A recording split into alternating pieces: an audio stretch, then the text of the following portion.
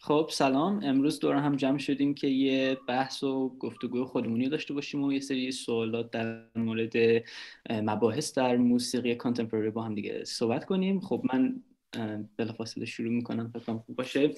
آره. یکی از سوالاتی که من تو نظرم بود می‌خواستم ببینم که برای شما concept aesthetics و ستایل چی هست تو موسیقی تو موسیقی contemporary و این concept ها کار شما رو چجوری influence می‌کنن چجوری تاثیر می‌ذارن توی کار شما؟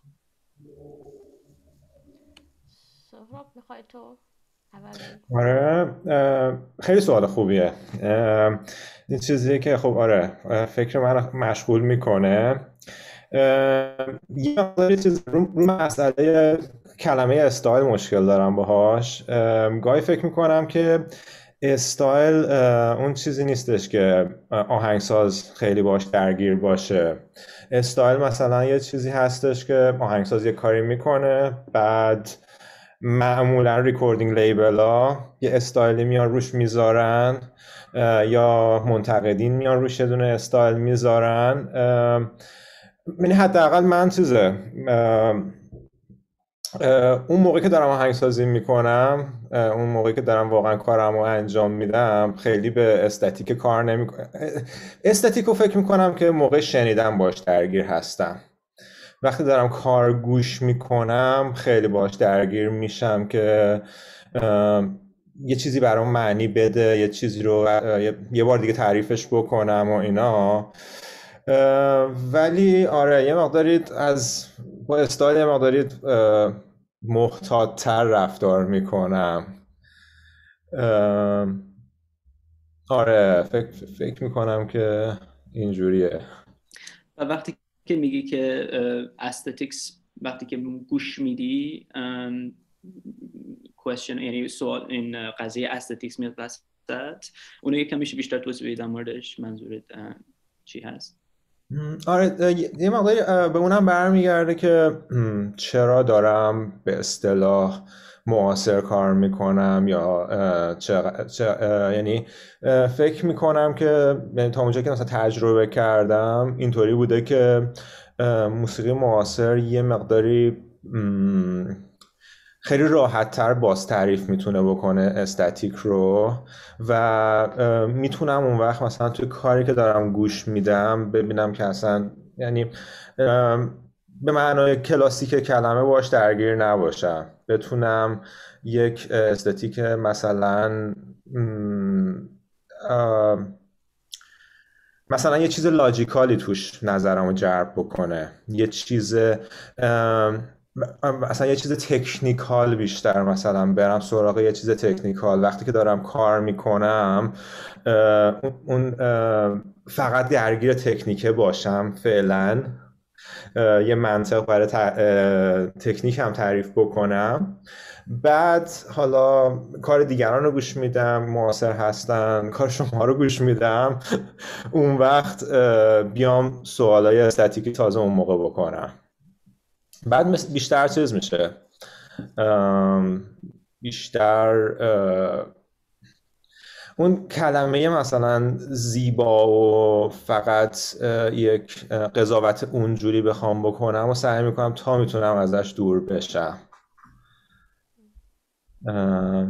آره فکر می‌کنم که این آزادیه که ما جدیدن تو جدید 50 60 ساله اخیر تو موزیک داشتیم. خودم فکر می‌کنم استاتیک واژه‌ای که خیلی شخصی دیگه. یعنی وقتی که از دوران کلاسیک اومدیم بیرون یعنی از اون تعریف های قالب کلاسیک اومدیم بیرون دیگه اصلا کلا هی آهنگسازا شروع کردن. حتی تو همون دوران هم شروع می‌کردن هی از اون قوانین بیان بیرون. حالا قوانینی که بعد حالا مثلا بخوایم اسمشو بذاریم استاتیک. من فکر کنم من کلا فکر کنم با کلمه استاتیک مشکل دارم. چیزیه که سلیقه شخصی رو خیلی غالب می‌کنه. البته سلیقه شخصی نظر کسی که داره میشنوه کسی که می‌خواد انتقاد کنه کارو. به نظر من خیلی عوامل دیگه مهم مهمتری هست. به خصوص توی موسیقی معاصر من کلا هر کدوم از قطعه به, به شکل یک پروژه research می‌بینم که از دل این می‌خوام یک چیزی یاد بگیرم. یعنی خیلی درگیر این نیستم که aesthetic. aesthetic چیزی که بالاخره سلیقه شخصی من میاد تو کار من. بالاخره این aesthetic شخصی منه. و حالا استایل منم حالا به همون شکل داره. به حسب هر قطعه که دارم کار می‌کنم هی داره تغییر می‌کنه دیگه. حالا هر سری کنجکاویم چیه؟ آره من فکر می‌کنم که خیلی هم استاتیک هم استالی چیزی که خیلی به پرسپشن کسی که شنونده است داره برمیگرده. نمی‌دونم. این آره حرف خیلی چی میگن یعنی موافقم با این چیزی که میگی که برمیگرده به شنونده. بعد برای من برای من خیلی سوال جالبه که همیشه از تمام آهنگسازا بپرسم چون همیشه یه مثلا الان پرسپکتیو های جدید من شنیدم که مثلا کسی هم نگفته بود. تا برای من همین خیلی جالبه برای من همیشه این سوال می‌پرسم ولی برای من مثلا concept aesthetics همونجور که دقیقا گفتی نسیم مثلا یه چیزی هست که boundary داره. برای همین ممکنه همونجوری مثلا گفتیم سلیقه شخصی و اینا ممکنه محدود بکنه. ولی مثلا برای من aesthetics مثلا چیزی هست که آره همون یه چیزی هست که مثلا یه boundary های define شده که مثلا یه sound world define شده رو تحویل میده و اینا. ولی بر مثلا ستایل چیزی هست که برای من مثلا اون چیز قوانینی هست که من توی قطعات می‌ذارم برای شنونده که اون قوانین قوانین قطع رو define می‌کنن که شنونده بتونه follow بکنه. ولی حالا مثلا این قوانین که من ممکنه بذارم تو قطعم influence میشن از بعضی از از از aesthetics ها مثلا تو موسیقی من حالا مثلا وقتی میگم که از این aesthetics ها influence میشن من، یعنی که منظورم نیست که مثلا موسیقی من این این هست. مثلا یکی از aesthetics هایی که موسیقی من influence می‌کنه aesthetics spectralism هست. یه, موس... یه دونه دیگه aesthetics موسیقی مثلا electroacoustic هست. یکی دیگه aesthetics موسیقی ایرانی هست. یکی دیگه مثلا مینیمالیزم هست. ولی مثلا موسیقی من اگه گوش بده نفر من فکر نکنم طرف بگه او این موسیقی spectral هست او این موسیقی مینیمالیست هست او این موسیقی. ولی احساس می‌کنم که این این influence می‌گیرم از این aesthetics ولی مثلا تو ستایل میشه اون قوانینی که خودم define می‌کنم توی کارم. که حالا اینم جالبه چون که احساس می‌کنم این قوانینی که define می‌کنم هی definition ش مثلا بیشتر چیز میشه بیشتر شکل می‌گیره. هرچی آدم بیشتر آهنگسازی می‌کنه و بیشتر تجربه کسب می‌کنه و اینا اینا definition ها بیشتر شکل می‌گیره و اینا. نمی‌دونم. آره فکر کنم یه بازی بین کلمه است. الان چیزی که میگی من این چیزو به عنوان المان آهنگسازی مثلا واسه خودم می‌بینم. هیچ به شکل استتیک آهنگسازیم بهش نگاه نکرده بودم. ولی خب مثلا بخوام آره اینجوری بخوام نگاه بکنم همیشه یه چیزایی خب تو سلیقه شخصی نسبت به موزیک دارم. مثلا موزیکی که خیلی استاتیک نباشه خیلی انرژی حرکتی داشته باشه. ولی سعی می‌کنم تو موقع شنیدن همه اینا رو بذارم کنار. ولی توی آهنگسازی خودم میاد بیرون. آره منم دقیقا همونجوری که تو گفتی سهراب گفت. آره، وقتی که میشنوم خیلی به حالت open-minded دقیقا همونجوری که هر دو تاتون گفتین اینجوری نمیرم بگم که خب الان این باید از این باشه که الان این خب پس الان نه ولی نه خیلی open-minded فقط که experience بکنم و به قول معروف همون مثلا ببینم که این چه قوانینی به آهنگساز برای من داره define می‌کنه که من follow بکنم و اینا. این follow کردنی که میگی من یاد اون داستان narrative میندازه narration که یه دفعه خودت اشاره کردی که که سوال دقیقا یادم نمیاد ولی قضیه همین سر narration از که داشتیم صحبت می‌کردیم. آره. فکر کنم سوال من بود از قطع سهراب که من احساس کردم که از قطع پدرام. می‌خواستم ببینم که اصلا اصلا نراتیو فکر می‌کنی به کارت یا اینکه کارت یک بذار سوالمو درست بگم. کارتو مثل یه مجسمه من تصور کردم که از نظر چی بگم این شخصیت مجسمه هست. فقط تو داری از ابعاد مختلف به مجسمه نگاه می‌کنی. یعنی یک یه چیزه فقط با پرسپکتیو مختلف داره میاد توی بعد کاری. نمی‌دونم چیزی که تو اینجوری فکر کردی یا اینکه چیزی که تو مثلا یه روند نراتیو داری. حالا بعد سوال اصلی میشه که برخورد تو با زمان چجوریه توی آهنگ سازی خیلی سوال خوب و جالبی هست و من خیلی خوشحالم که اینو گفتی. چون که آره تو مثلا تو بعضی از قطعات دقیقا همینجوری که گفتی واقعا آره خیلی این حالت هست. مثلا توی اون تو قطعه mixed quartet که نوشتم برای ویولون، vibraphone، ترومبون و bass clarinet تو اون قطعه واقعا همین قضیه این هست که ما واقعا یه shape ی رو داریم. و این shape رو ما داریم از زوایای مختلف پیشنهاد می‌کنیم که اون shape اولین gesture تو قطعه همون shape هست. ولی در طول قطعه ما همش همون شیپ رو میشنیم ولی این شیپ داره در واقع استرچ میشه. هم از این طرف داره استرچ میشه هم از این طرف داره استرچ میشه. ولی باز با اینکه مثلا بعد از یه مدت اینقدر استرچ شده که اصلا کلا تبدیل شده به چیز دیگه باز ما این رو چون یه سری کوالیتی های شبیه داره به اون جستر اول مثل مورفولوژیش و اینا. ما شنونده اینو کاملا دقیقا به همون نگمون می‌فهمه که آه این هنوز همونه. من فقط دارم از یه زاویه دیگه میشنومش یه جور دیگه میشنومش. اصلا بعد اصلا شروع کردن فرم این قطعه از همین قضیه همین شروع شد.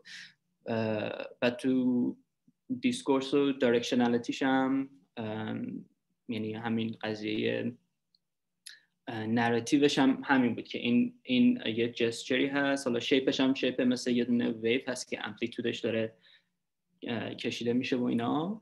ولی narrative ش میشه همین که ما فقط این عوض شدن این رو دنبال می‌کنیم. این یه حالت یه حالت دیگه که narrative دارم اینه که میشه اون قضیه narrative با hierarchy اون قضیه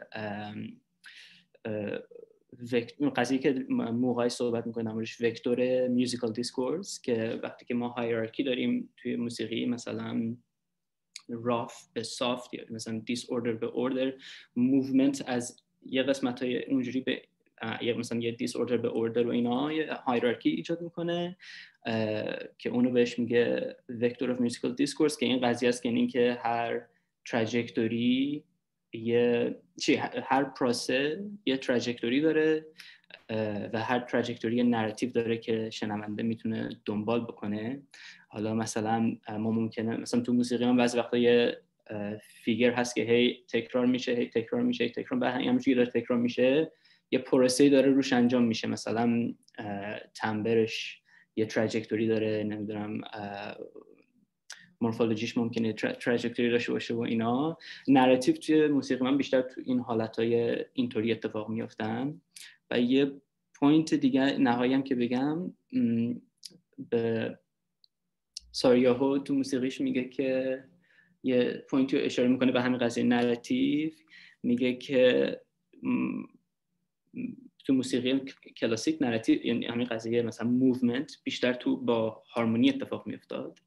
بعد میگه که خودش تو موسیقی خودش خیلی موقع ها همون رو می‌ذاره روی مثلا چیزایی دیگه مثل تمبر و اینا که narrative اونجوری یعنی trajectory اونجوری ایجاد بکنه که من احساس می‌کنم تو موسیقی من هم احساس می‌کنم یه narrative و trajectory تو اون حالت هست. این تو حالت های هارمونی و اینا هم هست ولی تو اون حالت ها هم هست. این مقدار جواب طولانی شد ولی ولی جالب بود. ولی خیلی جالب بود. من یه اتفاقی برام افتاد این بود که چهار پنج سال پیش یهو به این فکر افتادم که این چیزی که تو دقیقا همین چیزی که داری توش تو میگی سخت ترین کار ممکنه و من هیچ جوری نمی‌تونم اینو القا کنم به شنونده. یعنی من هر جوری بخوام بیام نراتیو رو چیز کنم یهو یه اتفاقی میفته تو موزیک هم یا تو موزیک کلا که این به شنونده نمی‌رسه. بعد گفتم بیا یه دفعه واقعا سعی کن که این کار رو بتونی بکنی. همین قطعه Poetic Form بودش که سعی کردم که با فرم ساده ترین کاری که می‌تونم بکنم و داستان این بود که یه دونه مکانیسمی داشتم برای sound synthesis که این می‌تونست به هم صداهای خیلی بلند حالا خیلی بلند منظورم مثلا 20 ثانیه است. و صداهای خیلی کوتاه در حد مثلا زیر سی میلی ثانیه یا سی میلی ثانیه به هم بده.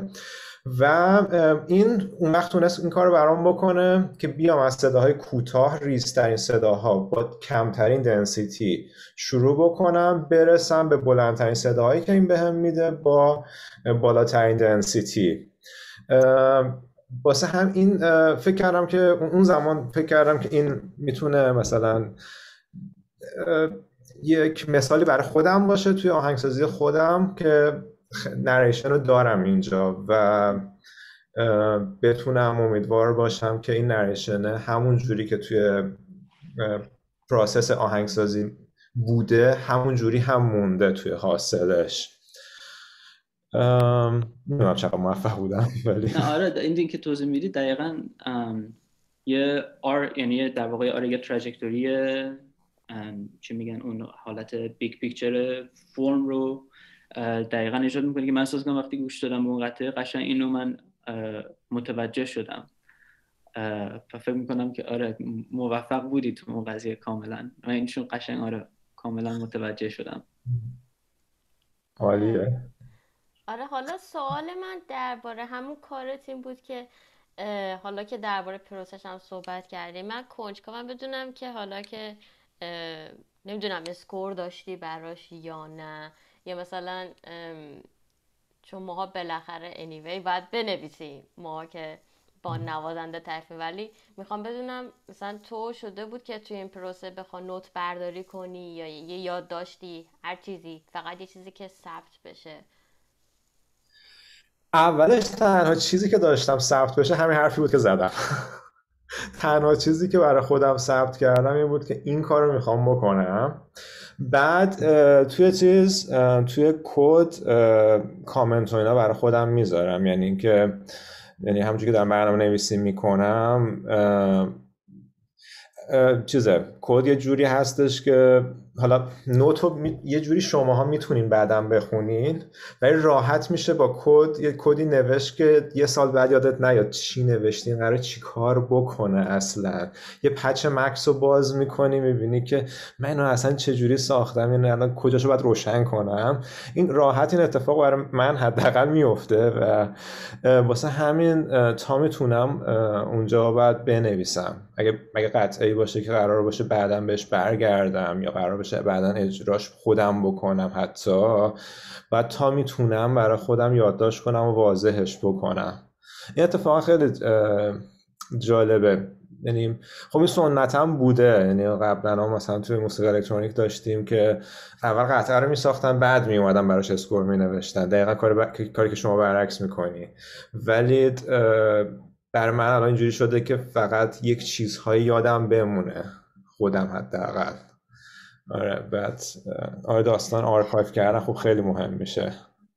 حالا الان برای من دو تا سوال که من بپرسم. یکی برای نسیم دارم که قضیه notation رو آوردی. من یه سوال برای قطعات دارم. یه سوالم برای سهراب دارم. برای اون قطعت که منشن کردی. می‌خوای دوتاشو همزمان می‌پرسم. یه ذره unrelated هستن. ولی دوتا رو می‌پرسم بعد دیگه میشینم منتظر جواب. گفتی که اون قسمت که گفتی اولش صداهای خیلی کوتاه انتخاب کردی. juxtapose می‌کنی هم کنار هم. این قضیه یه چیزی شبیه همون قضیه micromontage هست یا یه تکنیک و یه concept دیگه است اون اول؟ این سوال برای سهراب. برای نسیم من سوال برای notation من نوت های تو رو که من دیدم برای من خیلی جالب. چون من اولا من قطعات تو رو که میشنویدم فکر نمی‌کردم که مثلا نوت نویسیش اونجوری باشه که مثلا من نوتا رو دیدم.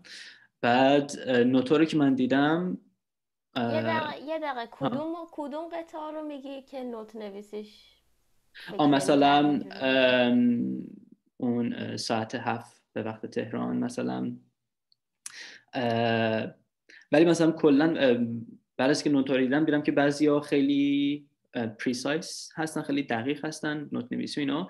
بعضی هاشون خیلی بیشتر open-ended هستن مثل مثلا همون ساعت هفت صبح وقت حال من این فارسیشو دارم میگم ترجمه دارم می‌کنم.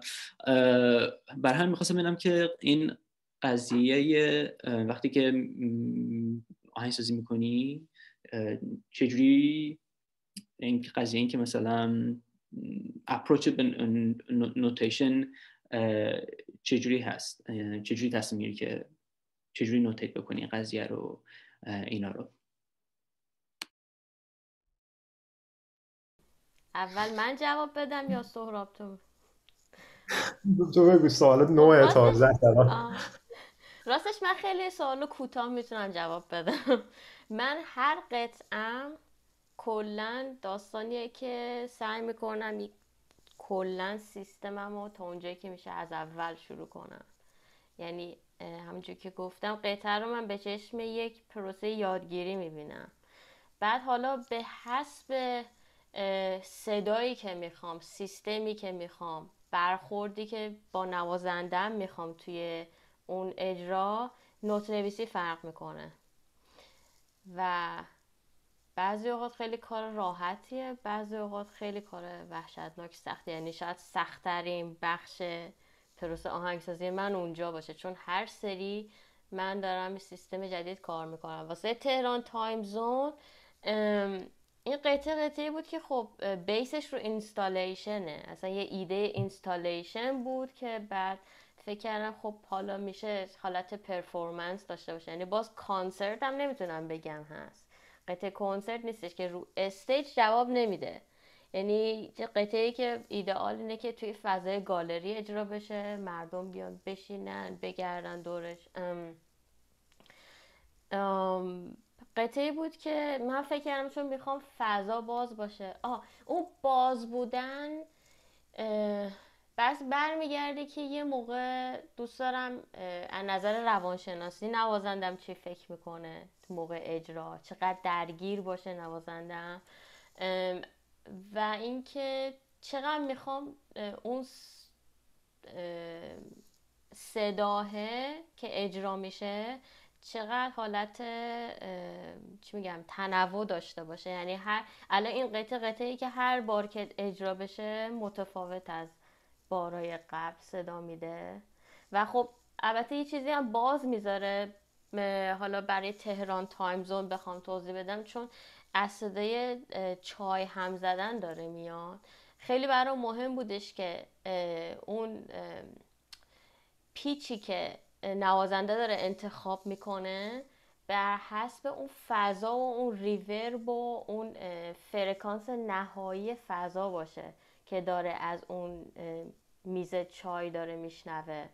و نوازنده های خوب قاعدتا این کار رو انجام میدن. یعنی همیشه حواسشون به اون صداهای اطراف هست و هم تا حالا دو بار اجرا شده و خیلی هم نتیجه خوبی داشته از این بابت. و یه داستان دیگه همی که خب آره همین که تنوع چقدر بخوام داشته باشه. آره. باز دوباره سیستم های نوت نویسی دیگه هم دوباره فرق می‌کنه. یه جاهای دیگه که باز میگم برمیگرده به بیشتر روانشن اصل کار بیشتر روانشناسی نوازنده یه موقع مثلا دیدم یه قطعه هست هنوز اجرا نشده. با وجود اینکه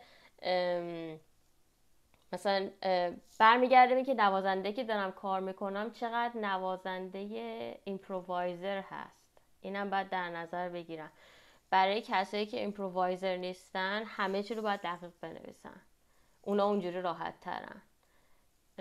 و سیستم فکری قطعه من باید به اون شکل بذارم. برای کسایی که بداه نوازن خب این کار این جا بر من بازتره. بازم برمیگرده به اینکه نوازنده چی می‌خواد. یعنی شده که من بارها سیستم نوت نویسیمو عوض کردم. یعنی قطعه تموم شده نوشتم. بعد نوازنده گفته که من این سیستم رو راحت نیستم و دوباره مجبور شدم سیستم رو تغییر بدم.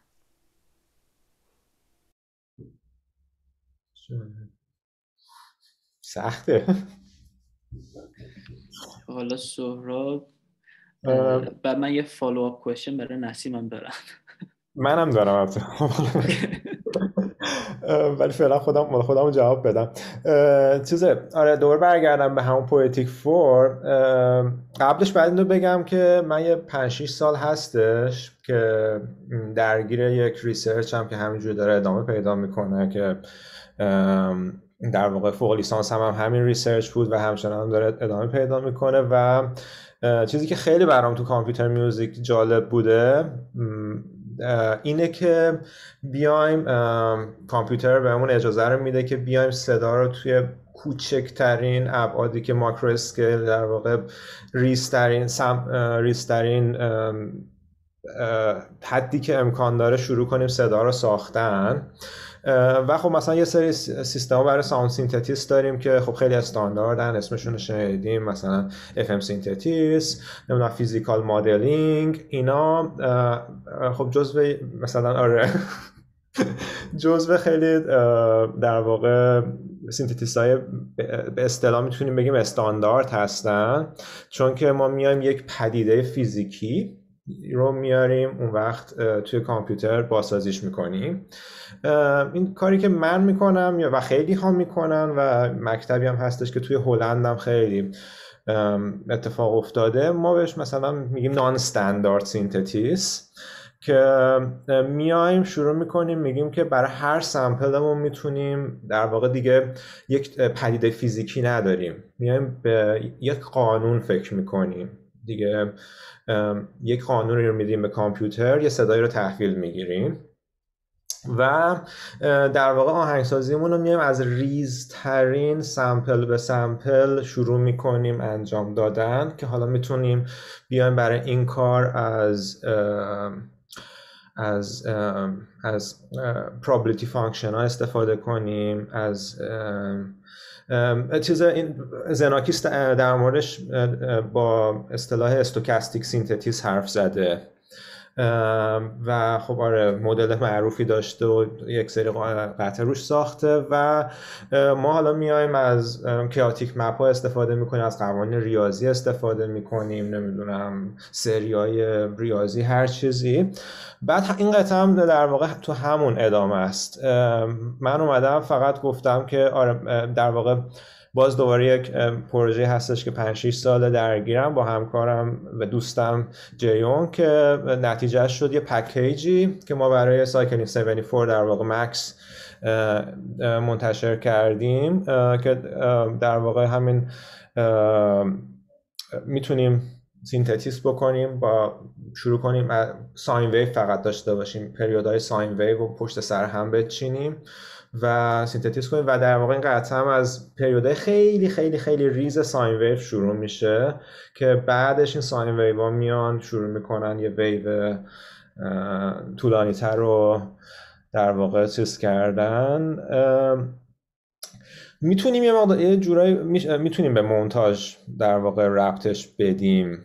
ولی آره ولی اصطلاحی که مثلا ما استفاده می‌کنیم در موردش periodic by period period by period sound synthesis هستش. یعنی که برای هر پریودیت یه قانونی داری یا یک انتخابی داری یا چیزی.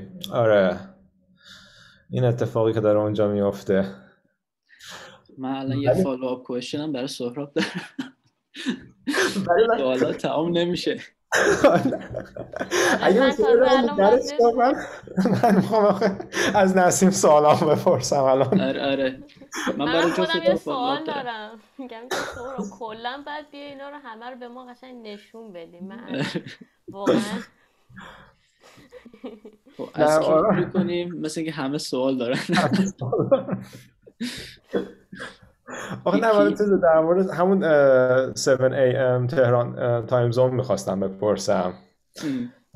آره چیزه یه چیزی که هنوز برام مسئله است اینه که من اولین بار رو بدون یعنی فقط شنیداریشو شنیدم تصویری نداشتم. و احساس کردم برام کاملا کار کرد قطعه الان که تو میگی معلوم میشه که پرفورمنسش هم مهمه دیدنش مهمه فضاش مهمه. ولی میگم برای من کاملا کار کرد. بعد آخه شدم یه چیزی بود که اون صدایی که میشنوم واقعا تهرانه یعنی واقعا سالیان سال اون صدا رو شنیدم. نمی‌دونم خارجی ها چجوری باش برخورد کردن. کسایی که مثلا صبح براشون این اتفاقا نمیافتاده. برای همین خواستم ازت بپرسم که بعدش هم البته تصویریش هم دیدم. یعنی من اون ویدیو ویدیوشو دیدم.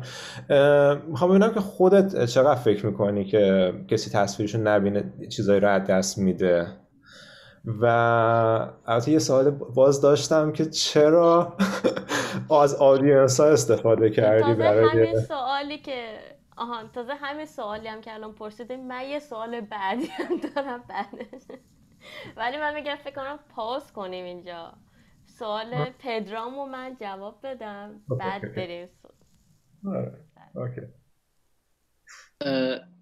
خب سوال من هم باز برمیگرده به سوال یه در واقع همون follow up question هست که گفتی که برای سیستم notation برای هر قطعه متفاوت بستگی به مثلا فضا و این پارامترهای مختلف داره. بعد من خیلی کنجکاو هستم بدونم که مثلا سیستم نوتیشنی که انتخاب می‌کنی چجوری در واقع اپروچت به فرم رو چیز می‌کنه تاثیر می‌ذاره. چجوری؟ مثلا یه, یه سیستم notation ی که خیلی precise هست و یه سیستم نوتیشنی که خیلی بیشتر همونجوری گفتی مثل improvisation هست. چجوری قضیه فرم رو چجوری بهش فکر می‌کنی؟ توی یه جور فکر می‌کنی یا متفاوته؟ اگه متفاوته چجوری متفاوته؟ چجوری به فرم فکر می‌کنی؟ من خلاصه بهت بگم کلا هر قطعه ای که من دارم کار می‌کنم اصلا به قول معروف از از سر یک داستان نوع اصلا انگار من تا قبل از اون هیچ کاری نکردم هیچی از خودم خبر ندارم همه چی جدیده. فرم و من همیشه توی روند کار بهش فکر می‌کنم. حالا باز بستگی داره و اکثر مواقع اینه که فرم وقتی که اون وقت میام تو پروسه نوت نویسی و نوتا پرینت می‌گیرم می‌زنم به در و دیوار ببینم که کار می‌کنه یا نه و قطعه رو تو ذهنم مرور می‌کنم می‌بینم که نه اینجا باید فرم عوض شه. به خاطر همین نمی‌تونم بگم که بعد اون وقت باز دوباره این هر قطعه با قطعه دیگه فرق می‌کنه. مثلا قطعه Line اصلا score من یه ویدیوه. چون غیر از اون نمی‌تونست نوازنده اجرا کنه چون نوازنده میره زیر پارچه هیچ کدوم همدیگر نمی‌بینن سالن تاریکه چجوری نوتشون رو بخونن. در صورتی که ایده اول من اصلا یه چیز خیلی ساده بود. اصلا قرار نبود به اینجا برسه. قرار بود که یک نوت خیلی پرینت معمولی نوت نویسی خیلی ساده باشه و نوازنده بره آنالیز کنه. حالا از دل آنالیز اونو در بیاره. بعد دیدم که نه خب نوازنده نمیشینه نمیره بشینه آنالیز بکنه. این وقت رو نداره. حالا اون داستان طولانیه. به خاطر به اینجا رسیدم که بعد ویدیو درست کنم. ولی خب مثلا اون قطعه از نظر فرم از اون اول بر من مشخص بود که چی کار می‌خوام بکنم. می‌خوام یه تک صدا باشه و حالا از دل این تک صدا مثلا بتونم یه مثلا narrativity در بیارم. ولی narrativity ش خیلی برام مهم نبود. بیشتر برام مهم بودش که چه صداهایی چه کارایی چه تنوعی می‌تونم البته تنوعی که میگم مایک میکرو تنوع از با همون تک صدا انجام بدم. آره. کلا سخته یه خورده برام جواب دادن این سال چون میگم سیستم هر قطعه کلا با اون یکی فرق داره. خیلی به حالت اینتویشن چیز می‌کنی می‌سازی فرم رو درست؟ اینجوری من آره،, آره. آره آره. یعنی اگه ببین آره یعنی شده بوده که مثلا همین قطعه فریاد که که حالا قرار پاییز اجراشه اصلا قرار نبودم ملودی داشته باشم توش. من فقط می‌خواستم روی سیستم نویز و phonetic کار کنم. اصلا نمی‌خواستم. بعد یهو به ذهنم رسیدش که نه من حس می‌کنم که می‌خوام یه ملودی باشه که یه کمی فضای ایرانی داشته باشه اون تهش بیا. یعنی بعد هی فکر کردم یعنی هی با خودم هم میجنگم. یعنی هی مرور می‌کنم که واقعا آیا اینو می‌خوام؟ بعد اگه ببینم که از پس خودم بر نمیام میذارمه. بعضی اوقات یه خورده پروسه ترسناکیه برام. یعنی این پروسه آره. جنگیدن با خودت یا آره پروسه این که بخوام یه فرمی و مثلا برای خودم ثابت کنم ولی معمولا هر دفعه اومدم فرم رو ثابت کردم توی پروسه کار نهایتا تغییرش دادم آه. ولی آره یه موقع هم شده حالا مثلا فرم کلی هست جزئیات تغییر می‌کنه یا مثلا جزئیات هست فرم کلی تغییر می‌کنه یا اصلا کلهم تغییر می‌کنه. آره منم خیلی اتفاق میفته آره بعد میشه که مثلا به نوت نویسه می‌رسم. بعد تازه که میای ثبتش می‌کنی می‌بینی که اه مثلا من اینو دلم می‌خواد مثلا اینجا مثلا همچین چیزی به این اضافه کنم. تازه ایده تازه میاد. آره. فکر کنم جواب سوالت داد. عالی. آره آره آره.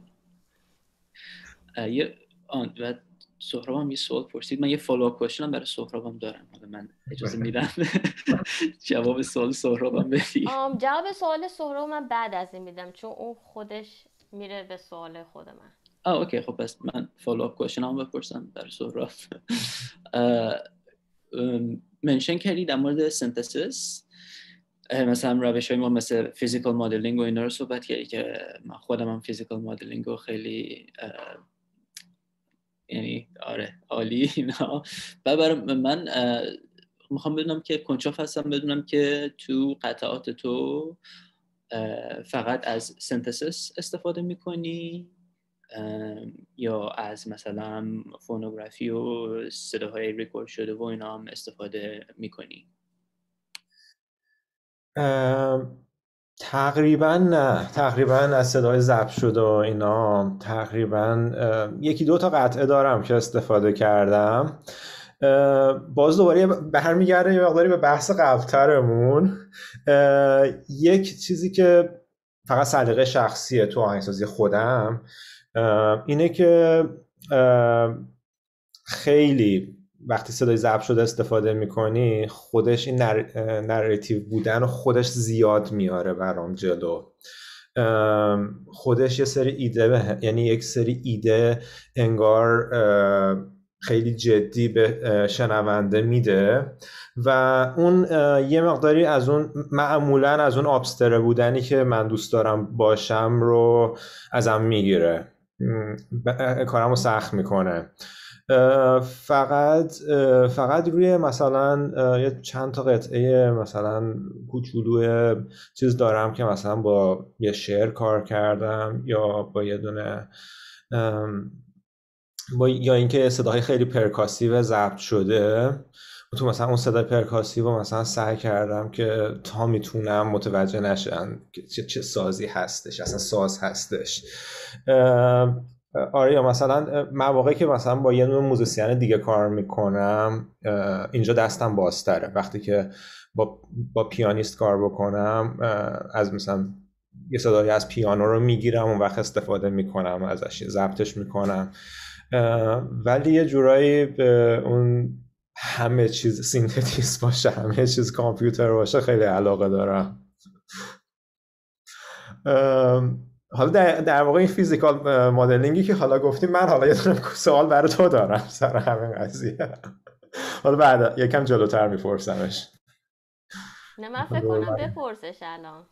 آره اوکی. آره. هم آخه تو در مورد یعنی چند تا چند تا لغت رو استفاده کردی که مثلا مال به موزیک مینیمال اشاره کردی که این تنها چیزی که من تو موزیکت پیدا نمی‌کنم. مینیمالیزم آره. ولی البته می‌دونم منظورت چیه. می‌تونم بفهمم که منظورت چیه از استفاده کردن ازش. ولی از اون طرف spectralism خیلی پیدا می‌کنم توی موزیکت. مخصوصا اتفاقا اون قطعه آخره که تو SoundCloud ت گذاشتی و الان اسمش الان حضور ذهن. که تایتلش خیلی دراسته Reaching for the unreachable point of desire. آره. آره،, آره،, آره آره اونجا چیزه. یه جورایی احساس کردم که اولا که یه سکوت های خیلی تاثیرگذاری داشت برای من که باعث شد که می‌خواستم ازت بپرسم که یعنی این سکوت های جورایی برای من صداها رو خیلی هندسی طور می‌کرد. خیلی احساس می‌کردم که اگر اون سکوت ها نبود یک جیومتریکی به هم میریخت. یعنی وقتی که اون سکوت ها میومد اون وقت من می‌تونستم یک شیپ هایی رو بشنوم. می‌خواستم یه دفعه اینو ازت بپرسم که نظر خودت در مورد این قضیه چیه؟ بعد احساس کردم که همه چیز در خدمت رنگه. همه چیز در خدمت تیمبره تمبره و اینجوری اون اینجوریه که میگم اسپکترالیزم خیلی برام میومد جلو. آره یعنی می‌دونم که می‌دونم که یعنی حدس می‌زنم که اتفاقات عجیب غریبی داره در مورد پیچ و اینا ریتم و اینا میفته اون پشت. ولی اون چیزی که میاد جلو همش انگار در مورد رنگ میشه. یهو. اینو می‌خواستم از بپرسم که خودت چی, خودت چی کار داری می‌کنی اونجا؟ خیلی سال خیلی خوب سال خوب و جالبی هست. خب من اول سکوت رو توضیح میدم بعد میرم در مورد آره، تمبر اون تو آره اون تو اون قطعه دقیقا درست میگی. اگه سکوت ها نباشه دقیقا حالت به قول خودت حالت هندسی قضیه میریزه به هم. چون که من تو قطعه سکوت رو به حالت یه به حالت یه element مثلا syntax استفاده کردم که musical meaning داشته باشه. چون که اگه مثلا ما اون سکوت ها رو برداریم مثلا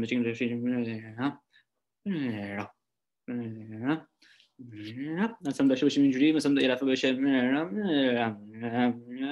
اصلا کلا معنیش کاملا متفاوت میشه. برای همین تو اون من قشنگ این سکوت رو به حالت syntax استفاده کردم که وقتی مثلا ما سکوت هم داشته باشیم یعنی یه معنی داره توی جمله. مثل چی؟ یه مثال بود من تو قبلا قدیما دیدم. یه جمله فارسی هم بود. آها مثلا مثل کاما کاما مثلا توی یه جمله کاما رو کجا بذاری؟ مثلا حالا جمله رو درست نوشته بود بخشش کاما لازم نیست او را آره آره. آه لازم نیست یا مثلا بخشش لازم نیست کاما او رو ادامه مثلا کجا کاما باشه معنی رو کامل تغییر میده. ولی مثلا کاماست مثل شاید بگه خب دیگه قسمت هستی شاید بگه طرف کلمات باشن ولی اینم مثل همونه مثلا سکوت کجا باشه و چجوری باشه و چقدر باشه اینا من به حالت همون syntax که مثلا معنی musical meaning رو define بکنه و اینا اینجوری استفاده کردم. و حالا قضیه اونم که میگی آره دقیقا همون قضیه تمبر برای من خیلی مهم هست. پارامتر تمبر و حالا تو اون قطعه همین که title ش خیلی درازه reaching for the unreachable point of desire توی این قطعه برای پروژه خیلی خاصم بود که یه آنسامبل خیلی عجیب به ما دادن ویولون و ترومبون و وایبرافون و bass clarinet بعد به ما گفتن حالا با این سازا یه قطعه بنویس که ما ببینیم تو مثلا این سازا رو بهت دادیم تو چجوری handle می‌کنی؟ مثلا قضیه بلند تمبرهای مختلف و اینا رو. بعد برای همین مثلا آلردی تو کارای من قضیه تمبر خیلی مهم است. حالا دیگه اونجا دیگه حتی اصلا قسمت اصلی قضیه بود. ولی حتی من وقتی که به چیزای م... که اسمشون تمبر نیست فکر می‌کنم من به حالت تمبر به اونا بیشتر تفکرم اونجوری هست. مثلا قضیه ریتم من به حالت خیلی حالت ریتم مثل مثلا یه تک تکسچر انگار مثلا یه تمبر خاص داره یا مثلا هارمونی مثلا بیشتر هارمونی های اون قطعه بیشترشون یا همشون؟ نه بیشترشون همشون نه بیشترشون مثلا فریکونسی ماجولیشن هستن که خودش already یه تمبر خیلی خاص داره. بعد علاوه بر اون مثلا از طرف orchestration و اینا هم تمبرهای مختلف و اینا و حالا توی اون که قطع ارکستر که point out کردی تو اونم مثلا باز مثلا من یه سری صداهای مختلف ضبط کردم بعد کل فرم قطعه رو با تمبر صدای این صداها ساختم اینجوری که این harmonicity این صداها رو آنالیز کردم. بعد کل فرم قطعه میره از صدایی که این هارمونیسیتیش پایین تره تا آخر قطعه اون صدایی که این هارمونیسیتیش بالاتر از همه هست. یعنی کلا اصلا اسکلت فرم از تمبر ساخته شد. ولی آره اون قضیه که تمبر همیشه توی تفکر من هست آره خیلی مهم. ولی حالا مثلا من بیشتر الان جدیدا شروع کردم فکر کردن به این که حالا این تینکینگ به تمبر رو من دامنشنش رو احساس می‌کنم یه ذره خیلی وان دامنشنال هست یه, یه بودی هست الان یه ذره. حالا الان شروع کردم به این که مثلا چجوری من اینو می‌تونم بیشتر چیز چند چند بودیش بکنم. چون همیشه مثلا خب الان این هست. خب حالا این هست. ولی مثلا یه قضیه بیشتر مثلا چیز عمق عمق بدم به قضیه اینجوری که مثلا connection بیشتری بین اتفاقات مختلف مثلا event های timbral مختلف و اینا. نمی‌دونم خوب توضیح دادم خیلی چیزه. خیلی جالب بود. خیلی جالب بهش نگاه می‌کنیم. اتفاقا اون اون که به یک آنسامبل نامتعارفی دادن و اون blend کردی اونو من قشنگ شنیدم. یعنی فکر کنم خیلی موفق بوده. وقتی خودت میگی من تازه بهش فکر می‌کنم ولی وقتی خودم میشنوم بهش اینجوری فکر نمی‌کردم. ولی توی اون with the red tree قبلتریه آره توی اون معقوله این اتفاقی که میگی مثلا چند بودی بودش. خیلی ریتمه رو میشنیدم اول از همه. ولی البته کلا دوست ندارم اینجوری پارامتریک در مورد موسیقی صحبت کنم ولی حالا داریم یه مقدار تخصصیش می‌کنیم داریم اینجوری بهش میگم. ریتم رو میشنیدم بعدش رنگ رو دریافت می‌کردم سریع. باز دوباره آره باز دوباره یه جایی یاد تریستان مورای میافتادم ولی شاید قبلا نمی‌دونم عادتت یه کمی تغییر کرده نمی‌دونم. حالا من یه سوال دارم در این باره اگه یه follow-up question اگه میشه بپرسم. خیلی تقریبا فکر کنم جواب سوال من رو دادی پدرام خودت already این که ولی خب از سهرابم این سوال دارم.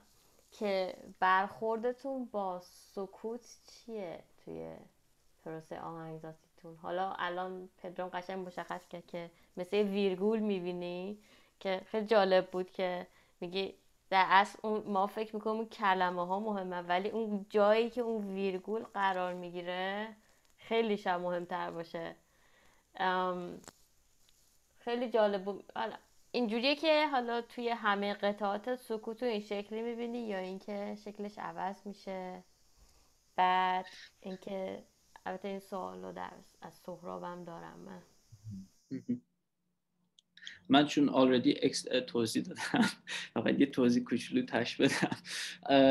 آره مثلا یکی از راهاش که همینه که حالت مثلا syntax یه قضیه دیگه این که خیلی موقع سکوت برای مثلا ریلیس رها کردن انرژی استفاده میشه. من بعضی موقع دوست دارم برای افزایش انرژی استفاده بکنم. مثلا حالا همون دوباره قطع اون ارکستر اون اولش صدای ریورس شده خیلی طولانی هست. و بعدش که می‌رسه اون سکوت که مثلا سکوت کوتاهی داریم قبل از اتک بعدی اون حداقل اونجوری که من میشنم یا دوست دارم بشنوم دوست دارم شنونده بشنوه اینه که اون سکوته اونجوری نیست که مثلا خب الان حالا دیگه release شد انرژی حالا دوباره یه یه attack میاد. اون من دوستم شنونده مثلا بشنوه که خانه این ولی حالا توی این مدت سکوت حتی intensity morphology صدا رو بیشتر میشنوه شنونده که وقتی ما می‌رسیم به اون attack بعدی اون در واقع میشه release انرژی. و یه مدل دیگه هم که من سکوت ممکن فکر بکنم حالت شاید به حالت مثلا قضیه poetic باشه چون سکوت خودش already خیلی connotational داره خیلی لینک های poetic میشه بهش ربط داد و اینا. حالا من کنجکاو هستم ببینم سهراب چی میگه. به حالا همین سوال از خودت هم نسیم من خیلی کنجکاو هستم ببینم جواب خودت چی هست. آره سکوت خیلی چیز عجیب غریبیه. واقعا چیز عجیب غریبیه. یک سر یه قطعه ای که اسمش هستش Composition 5 من اومده بودم در واقع همون همون صحبت قبلی که بیام سعی کنم تمام پارامترها رو از توی موزیک مثلا در بیارم. حالا اینکه بعدا چه اتفاقی افتاد آخر تحقیق و کاری فعلا ندارم. من داستانش مفصله که آخر تحقیق چه اتفاقی افتاد. ولی این, این بود که تمام پارامترها رو در بیارم و فقط با time interval کار کنم. یعنی تنها چیزی که من دارم فواصل هستش. و این فواصل رو فقط سکوت می‌تونه پر کنه. یعنی جالبه که یه چیزی که خودش انگار هیچی نداره می‌تونه یه چیزی رو پر کنه. بعد آره اینجوری شد برای من تعریف سکوت که وقتی که یه دونه سکوت داریم می‌تونیم بگیم که الان من یه دونه ایونت دارم الان یه ایونت دارم و این وسط رو می‌تونم پر کنم. بعد اومدم فقط طول این فواصل رو یعنی طول این sequence ها رو در واقع compose کردم. یه دونه الگوریتمی داشتم که یه دونه در واقع یک دونه حالت های آرک مانند داشتم یک یعنی یک سری شکل این شکلی داشتم که این می اومد time interval به من می‌داد. time interval بلند و کوتاه می شدن و کل قطعه همین داستان و فقط از دو تا فرکانس استفاده کردم. یه فرکانس low یعنی فرکانس یکی از یک low های تر قطعا و قطع همینه.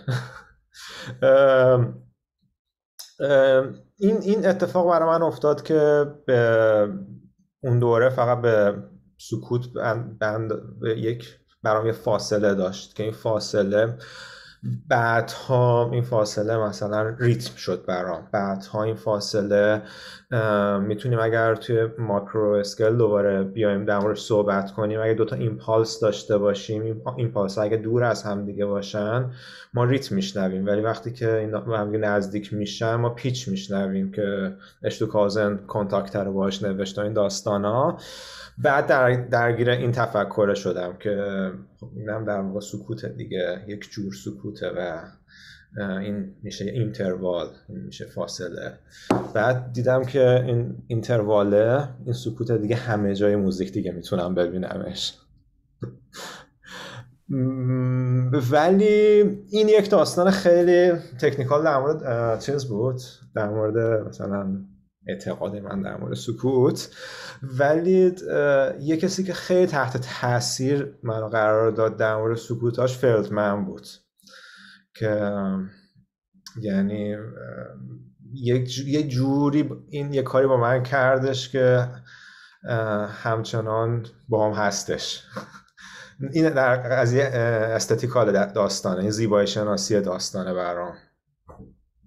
ولی الان دوست دارم نظر نسیم رو بدونم حالا. اتفاقا این چیزی که میگید خیلی جالب بود. من یه سوالم در باز دارم از خودت سهرا که حالا این تصمیمی که گرفتی چون من خودم هر چیزی که توی فرم داستانم میشینم اول به پرسپشن آدینسم فکر می‌کنم. که چه تأثیری می‌خوام بذارم. بعد اون وقت بقیه مسائل میاد چیده میشه. الان که تو گفتی سکوت تو با یه به حسب یه الگوریتم شکل دادی می‌خواستم اینم این مسئله پرسپشن جزو آهنگسازیت میاد یا اینکه کلا فقط اینه که یه فرمی حالا ریاضی مانند بخواد شکل بده قطعتو. این سوالم ازت. الان بگم؟ آره چیزه. اگه واقعا بخوام بگم منصفانه اون زمانی که این قطر رو ساختم به audience فکر نکردم. بعدش به audience فکر کردم چون که به نظر خودم به نظر خودم اون قطعه یک جایی می‌رسه. یعنی یک بازی می‌کنه که تند و کند شدن زمانه و اون perception من در مورد time بود. یعنی قشنگ داشتم اونجا خودم با خودم فقط طرف بودم داشتم به time perception فکر می‌کردم که مثلا این قطعه می‌تونه هشت دقیقه باشه. اگه هشت دقیقه باشه مثلا حس ده دقیقه داره میده یا حس کوتاهتر داره میده. این بازی ها داشتم برای خودم توی استودیوم می‌کردم و اون الگوریتم از اینجا اومد که یه جایی دیدم که یک فرمی رو پیدا کردم که یک جای قطعه هستش که احساس می‌کنین قطعه قراره هیچ وقت تموم نشه. و اونجا بود که فهمیدم آهان اینش رو دوست داشتم. بعد feedback های عجیب غریب گرفتم. یعنی در مورد این perception ه من اینجوری به داستان فکر کرده بودم. یه نفر بهم گفتش که خوش خشن ترین سکوت هایی که تو زندگیم شنیدم رو تو ساختی. چون واقعا فهمیدم که آها اون یه لحظه ای که فکر می‌کنی دیگه قراره این قطعه تموم نشه یا اون timelessness هستش اون اتفاق افتاده و خیلی مثلا خشن بوده. یکی دیگه به هم گفتش که نه به نظرم خیلی کوتاه اومد. قطعه 14 دقیقه است ولی فکر کرده بود مثلا 7 8 دقیقه است. به نظرش قطعه کوتاه اومده بوده. شاید نمی‌دونم یه ترانسی براش داشته نمی‌دونم. بعد آره اون اون زمان پرسپشنم یعنی فقط به تنها چیزی که فکر کردم همون بودش. بعدش که فیدبک ها رو گرفتم دوباره به این قضیه فکر کردم دوباره. که خودم احساس می‌کنم که تاثیرش رو مستقیم روی قطعات بعدیم داشته این داستان. یعنی یه جورایی آره.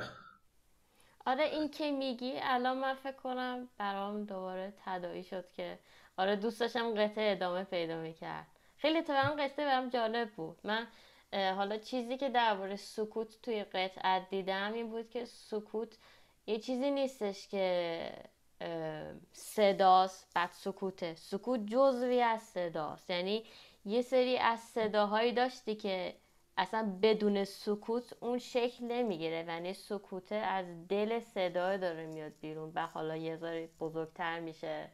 و یه ذره یعنی این خیلی جالبه برام میگی. چون من همینو در مورد پدرام شنیدم بهش گفتم الان. آره. این خیلی جالبه. من به من میگی نه آره. آره. جالبه خیلی. آره. ولی من خودم سکوتو آره پدرام که گفت انرژی آره من خودم خیلی شکل انرژی می‌بینم. یعنی دقیقا سکوتی است که یه نقطه است ولی در واقع انرژی قطعه همینجور داره میره. سکوت نشده فقط یک چیزه. بعضی اوقات هم سک... یعنی اکثر اوقات سکوت یه قسمت مهمیه توی پروسه فکری من درباره فرم قطعه. یعنی موقعی که می‌خوام فرمو بچینم همیشه درباره سکوت فکر می‌کنم. کجاها می‌خوام سکوت بیشتر باشه؟ شاید, شاید بیشتر قلزت و رقت سکوت رو دارم فکر می‌کنم. رقیق بودنش. که مثلا کجاها می‌خوام حجم مثلا آره صداهام کمتر باشه. کجاها می‌خوام حجم صدا بیشتر باشه؟ بعد آره ولی آره اونم دارم که مثلا سکوت مطلق اگه بخوام داشته باشم یعنی توتی این آره می‌خوام آیا می‌خوام اونجا واست قطعه بعد یا می‌خوام که اونجا حرکت کنه. حالا اینجا جواب من اگه سوالی نداریم برمیگرده به یه مقداری از جواب سوال قبل سهراب. که من توی سکوت همیشه به نوازندم توجه دارم. اون جایی که به خصوص می‌خوام انرژی کلا بخوابه. آیا نوازنده داره ساز عوض می‌کنه؟ مثلا اگه نوازنده کلارینته قراره مثلا بین bass clarinet با clarinet عوض کنه اونجا باید اتفاق بیفته یا نه؟ یا اگه بخوام اون سکوت باشه شده که مثلا اون حرکت رو بذارم قبلتر. یه سری از چیز المان موزیک هم عوض کنم. به خاطر که اون سکوت مهمتر بوده. که اون حرکت اونجا نباشه. و خب برای percussion خب این سخت داره چون percussion خیلی body movement بیشتر داره. همیشه اینو بهش فکر می‌کنم. یا برای قطعه جدیدا نوشتم فریز یعنی نوازنده هیچ تکون نباید بخوره تو سکوت که میشه. یعنی که واقعا بشه سکوت. واو. من یه فالو کوشن برای هر دو دارم. یکی این که خب سهرا وقتی داشتی تو دوزی می‌دادی می‌گفتی که یه قسمت می‌رسه که احساس می‌کنی که این قطعه تمامش اصلا انتها نداره. همچنین قراره تا ابدیت بره. بعد نسیم تو هم الان منشن کردی قضیه اینکه یکی مثلا همین قضیه فریز که خب یا مثلا آره هم. مثلا این قضیه خیلی خب یه حالت تیاتریکال داره ولی حال یه چیزم یه چی دامن چی زل دامن نه. بود. یه بعد poetic هم داره. بعد توی قطعه تو هم اون قسمت که احساس می‌کنی هیچ وقت انتها نداره اونم به نظر منم یه بعد poetic ی داره. و بر همین اساس سوال من این میشه که approach شما یا مثلا concept برای شما concept poetic تو موسیقی چی هست و چجوری approach می‌کنین concept poetic رو. یا مثلا نسیم تو میگی که وقتی که میگی که بعد تصمیم می‌گیری که بعضی جا می‌خوای مثلا سکوت بیشتر باشه یا سکوت مطلق باشه بعضی جا می‌خوای کمتر باشه اینا رو بر اساس تصمیمات رو بر, بر اساس مثلا یه قضیه یه concept poetic هست تصمیم رو می‌گیری یا بر اساس می‌دونم که گفتی که perception خیلی برات مهم هست. خب می‌دونم که مقدارش اون هست و می‌خوام کنچه می‌دونم که مقدارش شاید مثلا قضیه poetic و اینا هم هست یا نه.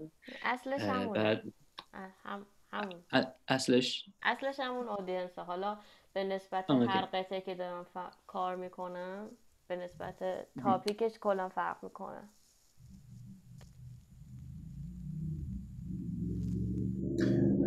آره منم منم چیزه.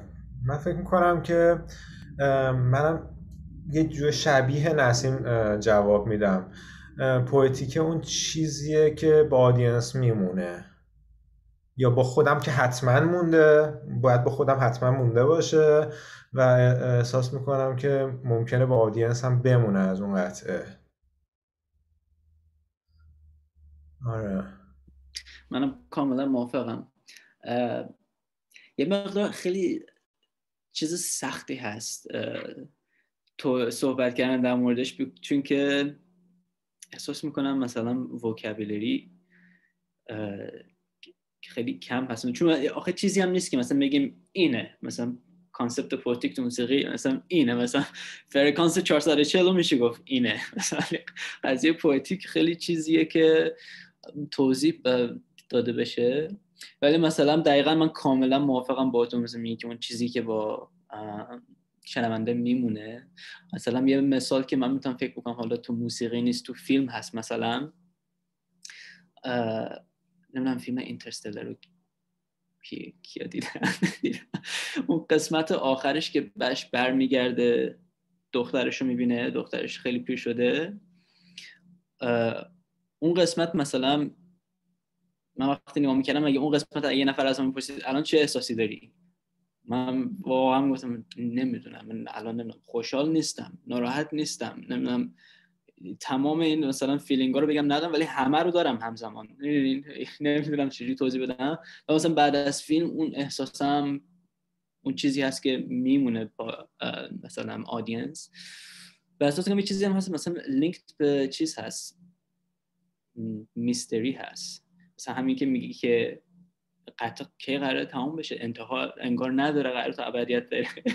یه حالت اونطوری لینک به میستری داره و بعد آها یه چیزی هم به مثلا شرد چی؟ مثلا experience های human experience های مثلا share شده بین آدم ها و اینا. به احساس من خیلی چیز هم هست context related هم هست. مثلا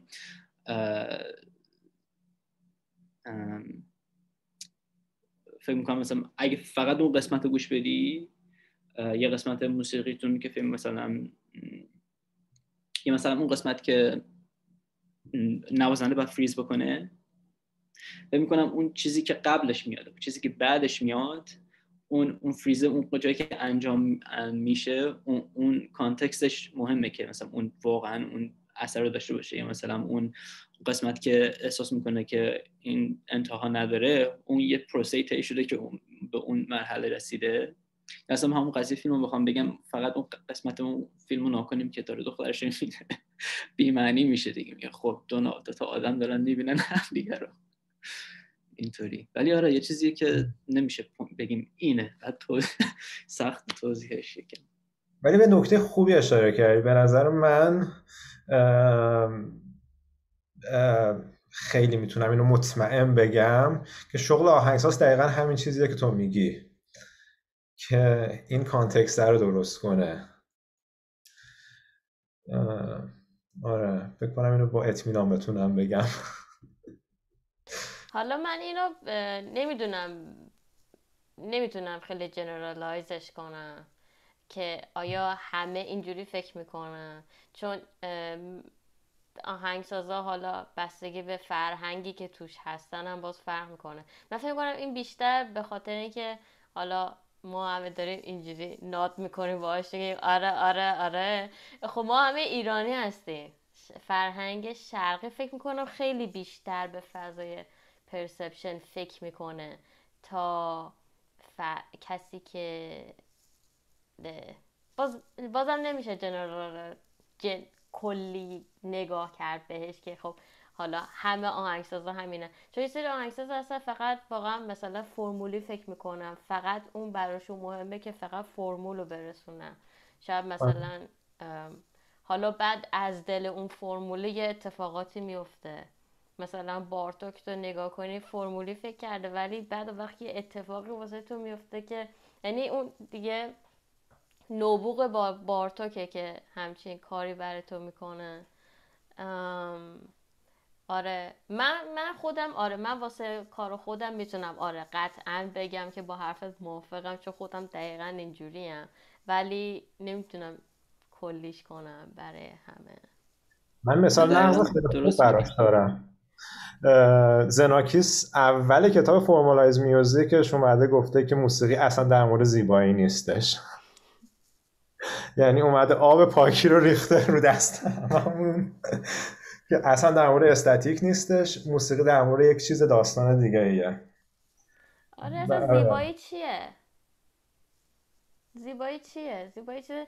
من موسیقی رو یه چیزی می‌بینم یه وسیله کامیونیکیشن می‌بینم. یعنی تو می‌خوای یه حرفی بزنی حالا این حرفت هرچی هست. می‌تونه هرچی باشه و به شکل صدا داری میگی. من یه چیزی داشتم در یه کامنتی بود در چیزی که پدرام گفت. تو به فیلم اشاره کردی. می‌خواستم بگم که عوض این چیزا توی فیلم ساختنش خیلی راحت تر از موزیکه. به خاطر اینکه از نظر اینکه ما انسانیم هنوز این قابلیت شنوای ما اونقدر دیولوب نشده مثل به دیدنمون. یا مثلا مثلا آره دیگه ما هنوز مثلا یک خیلی وابسته است. مثلا اگه ما نبینیم صدا چیه از کجا داریم خیلی مشکل داریم تا بخوایم بتونیم تشخیص بدیم. ولی خب بینایی همیشه چیز دیگه. اون درک قوی ترمون از بیناییه.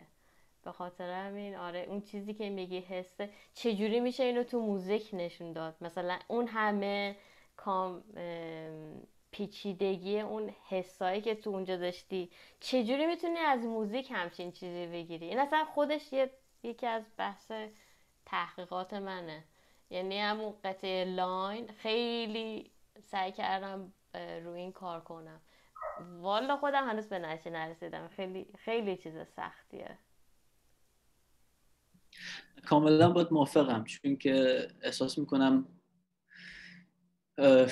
موسیقی یه ابسترکتر هست تا فیلم برای همین آره. بعد احساس می‌کنم حتی تو موسیقی حتی اگه مثلا یه قطعی گوش بدی که مثلا این رو اچیف کرده باشه مثلا خیلی قضیه پویتیک رو اینا رو داشته باشه و اینا. من احساس می‌کنم به آسون آسونی. آسونی فیلم کانوی نمی‌کنه. مثلا یه بستگی مثلا به شنونده داره. ممکنه یه نفر گوش بده واقعا دست دست قرار بگیره و بفهمه. یه audience ممکنه فقط به حالت organized sound متوجه بشه. ولی مثلا احساس می‌کنم آره تو فیلم چون میگم باز کمتر ab خیلی کمتر abstract هست اون راحت ترم میشه چیز کرد رسوند به آدینس ولی آره تا که گفتی تو موسیقی سختتر هست. این قضیه رو رسوندن. من یه چیز دیگه هم می‌خوام بگم شاید دردسری که ماها که موسیقی معاصر به خصوص کار می‌کنیم شاید از همینجا میاد که کلا شنیدن خیلی بود ضعیفتره تو آدما نسبت به دیدن. آره. من دو تا کامنت روی این حرفت دارم. یکی اینکه آره توی کلاسیک یک سری چیزها کلیشه شده و اونا معنی خاصی میده که جزو زبانش شده. کادانس فرمای خیلی خیلی استفاده شده فرمای متداول. این یه مقداری ممکنه خودش باعث بشه که یک چیزهایی رو به شنونده معرفی برسونه یه هینتایی بده. دومین چیز هم اینه که ما داریم با صداهای جدیدتر کار می‌کنیم. یعنی یک صداهایی رو داریم باهاشون سر کار داریم. مخصوصا تو موسیقی الکترونیک. یعنی من اگه پیانو بشنوم بلا فاصله یک تاریخچه از پیانو هستش باهاش با این ساز. چه بخوای چه نخوای یک تاریخی رو این صدا میاره. و تو موسیقی الکترونیک خیلی صداها رو داریم. به غیر از حالا یه سری که صداهایی که کلیشه شده توی پاپ استفاده میشه تو موزیک الکترونیک اونوری استفاده میشه. ما یک سری صداها داریم که اصلا نمی‌دونیم مثلا این صدای باید یه کانتکسی داشته باشه که اون صدا اون وقت معنی پیدا بکنه. آره واسه همین یه challenge ی هستش که ماها باهاش داریم و من اتفاقا دوستش دارم. دقیقا. آره فکر کنم اتفاقا الان که اشاره کردی این اون وقت دوباره این توی موسیقی الکترونیک باز سختتر میشه نسبت موسیقی, موسیقی instrumental چون باز instrumental نوازنده رو داره آدم می‌بینه. باز یه بخش visual داره. توی باز موسیقی الکترونیک خیلی دیگه ابسترکت تر میشه چون دیگه ما هیچی نمی‌بینیم فقط صدا داره میاد. آره. این چلنجیه که دوستش دارم ولی آره. آره. اینو این اولین بار یه جورایی اتفاق افتاده شاید توی موسیقی. آره ولی حالا یه لغتی خودت اشاره کردی و تو گفتگوی قبلی که برای این گفتگو داشتیم داشتیم در مورد صحبت می‌کردیم لغت تحقیق هستش.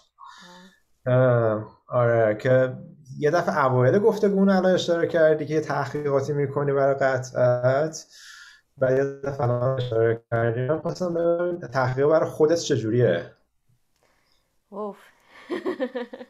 خب کمربنداتون رو ببندین.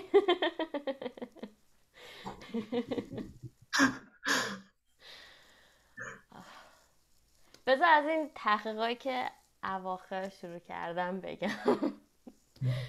برای Line رسما من topic داشتم. می‌خواستم که ببینم که چجوری می‌تونم از طریق صدا اون حجم احساسی که هست از طریق نوازندم به شنونده منتقل کنم. یعنی دست گذاشتم رسما روی چیزی که همه میگن impossible میگم نه من, من باید چون میگین ایمپاسیبله من باید دقیقا انجامش بدم. حالا سعیمو می‌کنم دیگه. هنوزم دارم روش کار می‌کنم. یعنی نمی‌تونم بگم قطعه لاین موفق بود. یه جورایی هم جواب گرفتم. ولی واقعا پروسه تحقیقم بود که حتی رفتم دپارتمان سایکولوژی با استاداشون صحبت کردم که مثلا من همچین چیزی دارم. رفرنس ها چیا هست چجوری می‌تونم. بعد دیدم که نه رفرنس های اونام جواب به من نمیده. حتی هیچ نزدیک به چیزی که من میخوامم نمیشه. رفتم با نوازنده هام شروع کردم. صحبت کردن. بعد خب یه سری نوازنده ها که خودشون هم همچین دقدقه ای داشتن که مثلا یعنی یه بخش تحقیق مثلا شد پروسه خود آهنگسازی که من دیدم که باز این با هر نوازنده من نمی‌تونم این جوابو بگیرم. یه باید نوازنده باشه که خودش دغدغه این نوع ارتباط حسی رو با شنوندش داشته باشه. یه سری نوازنده میاد فقط الگوریتمی کار می‌کنه. یعنی فقط می‌خواد بگه که خب نوتا به من بده تو چیه؟ من چی کار می‌خوام بکنم؟ instruction رو فقط انجام بده بره. یعنی کاری به این که بخواد حسی درگیر بکنه نداره. حالا من چجوری بخوام حس نوازنده درگیر بکنم؟ البته پدر نوازنده من در آوردم باید بگم. یعنی من یه ویدیو دیگه داشتم. حالا network Line هستش لینکش هم پایین یوتیوبش هست. ببینید. یه ویدیوی 20 دقیقه ای دارم که فقط اومدم اون حسی که خودم از یه سری رپرتوار موزیک در ایران داشتم. اینا رو گذاشتم کنار هم. بعد این حسه رو با یه سری ایمیج قاطی کردم که تقریبا بتونم بگم آقا مثلا این قسمت ماله رو داری گوش میدی من این حس رو دارم نسبت بهش. یا مثلا این قسمت شستاکوویچ داری میشنوی این حسه. بعد مثلا نمونه painting بود توش عکس بود GIF بود. این ویدیو هست که اصلا خودم والا من یک بار دیدم بیشتر نتونستم ببینم. یعنی خیلی بار حسیش سنگین بود. بعد نوازنده ها هم به سختی تونسته بودن 20 دقیقه رو تموم کنن. یعنی میگه مجبوری بشینی ببینی. بعد اون وقت یک بخش در تحقیق دیگه من واسه این قطعه این بود که زمانی که ببین من اومدم رپرتواری که شنیدم اینجوریه که تو یک قطعه که میشنوی زمان توی ذهن تو خیلی فرق می‌کنه با زمان حقیقی خود قطعه. یعنی اینجوری شد که اصلا instruction ی که من برای این قطعه نوشتم مثل یه paper شده اصلا. که بعد اومدم این زمان رو چجوری کردم؟ ببین مثلا تو ممکنه یک ثانیه از یه قطعه رو توی ذهنت مثل یک ساعت بشنوی ولی مثلا ممکنه یک دقیقه از یه قطعه رو مثل مثلا به یک ثانیه هم نرسه. چیزی بستگی داره که چقدر تو باهاش درگیری تو اون قسمت قطعه که برات و من یه عادتی هم که داشتم یه قطعاتی که دوست داشتم هزاران بار گوش می‌دادم به خصوص که اینترنت نبود و سیدی و حالا قبلش هم که کاست بود. یعنی من اینا هی اصلا باشو زندگی می‌کردم. به خاطر همین خیلی تو ذهن من مونده بودم و یک لیست رفرنس داشتم تو این قطعه که بعد اون وقت حالا چه اتفاق افتاده؟ من این رفرنس رو دارم برمیگردونم کمپرس می‌کنم توی یک دونه تکنوت می شماره دو. یعنی می‌خواستم که یک جوری باشه که حسی که من اون از اون قطعه دارم. حالا از اون رفرنس ها من به عنوان یک راهنما برای نوازنده استفاده کردم که یه جوری بتونه حس موزیکال و احساسی منو بفهمه. بعد اونو توی اون تکنوت بتونه بیاد پیدا کنه. چون من و خودم همچین تجربه داشتم توی ویولون خودم. مثلا ساعت ها می‌شد مثلا فقط یه دونه نوت لا می‌زدم. بعد دیدم ای مثلا توی این دونه تک نوت سیم دست باز دارم کلی چیز تجربه می‌کنم.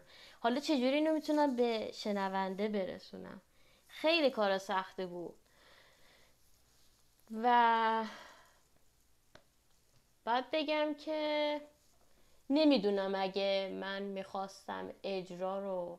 بعد من سعی کردم که تمام سعی کرد تمام بود که همه این چیزا همه این پیام و حس و اینا فقط از طریق صدا به شنوندم برسه. که نوازنده رو کردم زیر پارچه پرکاشن رو بردم پشت پرده. یعنی از طریق حذف به یه جنبه تئاتری رسیدم.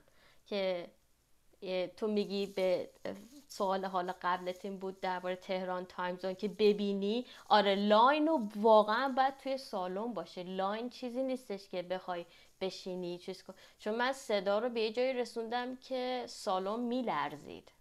باید میلرزید سالن اونجا. اینو می‌خواستم. و اینو اصلا نمیشه ببینی فقط حس کنی. باز مثلا فرق می‌کنه. مثلا برای کار گروس که داشتم اون خب خیلی قطعه کلاسیکیه. خیلی خیلی کلاسیکه نسبت به کارهایی که الان دارم می‌سازم.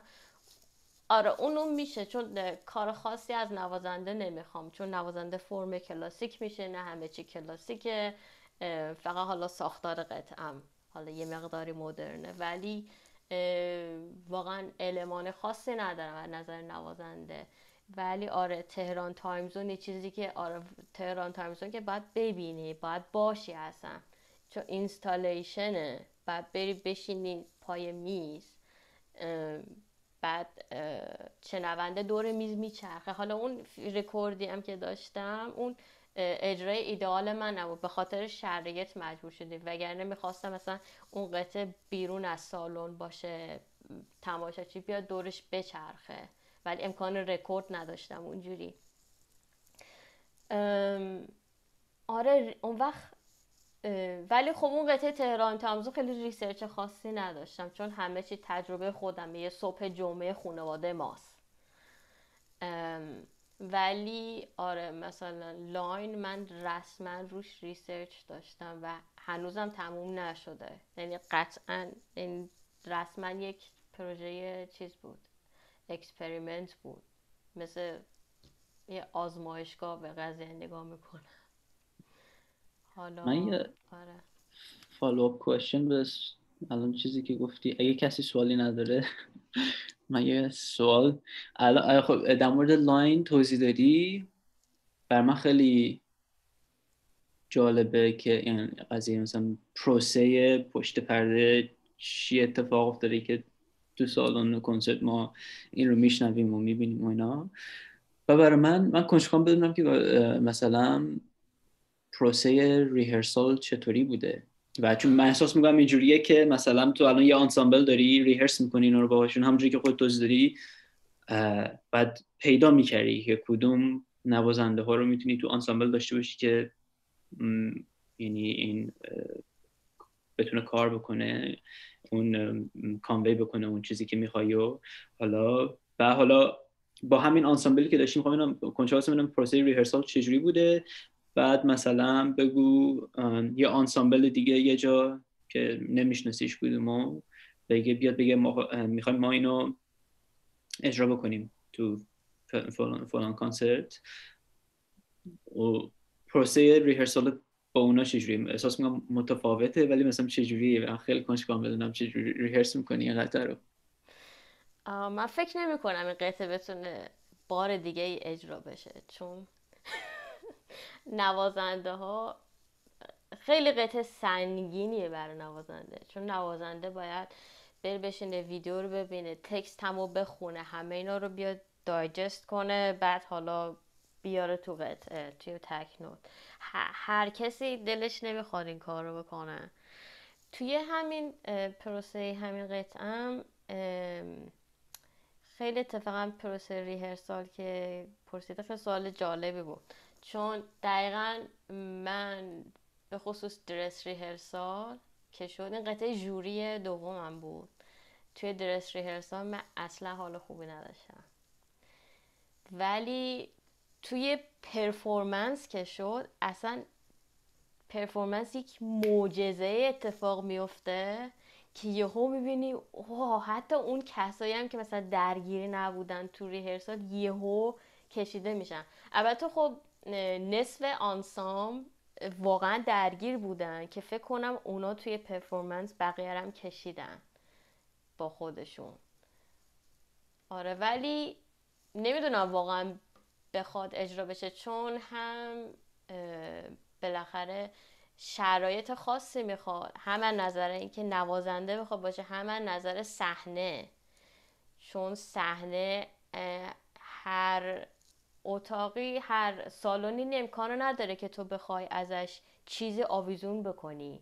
ببین اون پارچه هایی که هست در واقع آویزونه. چون اگه من می‌خواستم اون پارچه ها رو ول بکنم رو سر نوازنده اون رومیزی مشکیه. خیلی سنگین میشه واسه مدت زمانی که نوازنده است در واقع من وزن اون پارچه ها رو از سر نوازنده گرفتم. اونا آویزونه. به خصوص که دیگه نوازنده می‌خواد بیاد روی صحنه کار اومدن به صحنهش راحت تر باشه که فقط میاد میره زیر پارچه. بعد جدا از این بحث مانیتور کردن نوتا بود که حالا این البته خیلی کار سختی نبود ولی خب مهم اینه که اونجایی که داره اجرا میشه مانیتور داشته باشم به قدر کافی. ام ام و یه چیزی هم بود که کار نکرد. من توی edit استفاده اضافه کردم. چون من یه اگه دقت کرده باشه یه reverb عجیبی داره. قطعه. مثلا reverb یه جاهایی هم خیلی بد cut میشه. این از قصد این کار کردم. چون با در واقع با reverb دارم با حجم فضا دارم بازی می‌کنم. و این autom... اینو من اتوماسیون کرده بودم رو Logic. بعد Logic انگار خیلی برنامه خوبی نیست واسه live process کلی هم درد سر داشتیم سر rehearsal یعنی شاید بگم بخش اعظم rehearsal ما سر این بود که Logic رو یه کاری کنیم کار کنه. چون input output سازا میاد میره کلا توی میز صدا. از میز صدا یک دونه آوتپوت میاد میره به چیز. کامپیوتر من بعد از لاجیک میاد بیرون که اونجا من ریورب و اتوماسیونش کردم. بعد سر اجرا تصمیم گرفت کار نکنه. و آره خیلی قشنگ. یعنی خیلی قسمت مهمی هم بود چون به نظرم آره دیگه. حالا البته شما چیزی که شنیدین من ریورب رو اضافه کردم بعدش بهش. آره ولی یکی از سختترین ریهرسالان بود. خیلی خیلی کار بود چون میگم دست گذاشته بودم روی چیزی که اصولا میگن نمیشه. خیلی خیلی پرسوناله. حالا یه follow-up question و یه سوالم برای سهراب. حالا مثلا تو همین rehearsal ی که داشتی برای همین اجرا خب متن مثلا خوندن و ویدیو رو نگاه کردن نوازنده اینا. بعد بعد که اومدن آماده چجوری مثلا چه, چه instruction ی تو rehearsal بهشون دادی و چجوری مثلا بیشتر بعد به هم دیگه گوش می‌کردن؟ یا مثلا می‌زدن به هم گوش می‌کردن و می‌زدن بعد تو یه سری کامنت ها می‌دادی بعد بر اساس کامنت تو دوباره ترای می‌کردن یا چجوری بود؟ این سوال برای تو. یه سوالم برای سهراب این که سهراب برای تو پروسه ریهرسال چطور هست؟ تو چیز می‌کنی؟ در واقع با mixing board rehearse می‌کنی یا کلا play می‌کنی یعنی تو سالن کنسرت یعنی دیگه تمام کارا رو تو استودیو انجام دادی تو کنسرت فقط play یا تو کنسرت هم چیز میکس می‌کنی با mixing board و اینا؟ بعد آره کلا پروسه rehearsal و performance برای تو چطور هست؟ من فکر می‌کنم قطعه Line رو کلا ما اینجا بیخیالش بشیم چون این Line یک دردسر بزرگیه. خیلی داستان داره. و کلا یک تجربه خیلی خاصی بود بین همه کارهایی که انجام دادم. هم نظر ریسرچ هم از نظر ریهرسال هم قطعه دیگه هم اینجوری نیست. یعنی از این قطعه درس گرفتم که دیگه این کار رو نکنم. شرط راحت تر برای نوازنده بذارم. ولی تبریک. تبریک این کار کردی واقعا. واقعا من فکر آره. خاصی بوده. دقیقا. Like خیلی کلمش چیه؟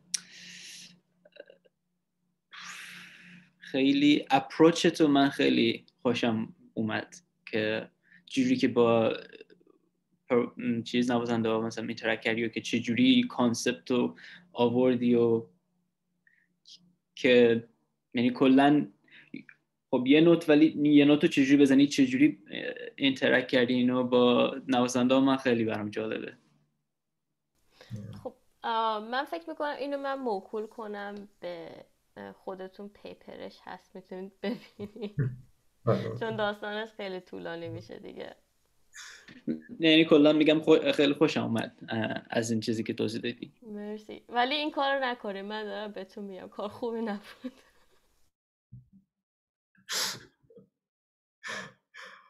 من جواب سوال پدرام میدم بعدش حالا یه دوباره یه سوال دیگه دارم ولی قول میدم در مورد این قطعه نباشه.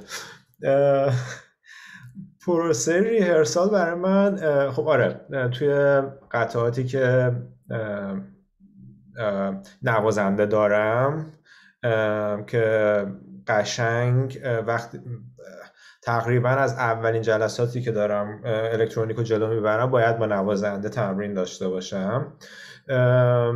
آره مثلا یه قطعه برای پیانو داشتم یه قطعه برای گیتار داشتم و اینا همشون اینجوری بودن اون, اون تیپ قطعه ولی اونایی که نوازنده نداره و همش الکترونیکه چند تا مورد داره.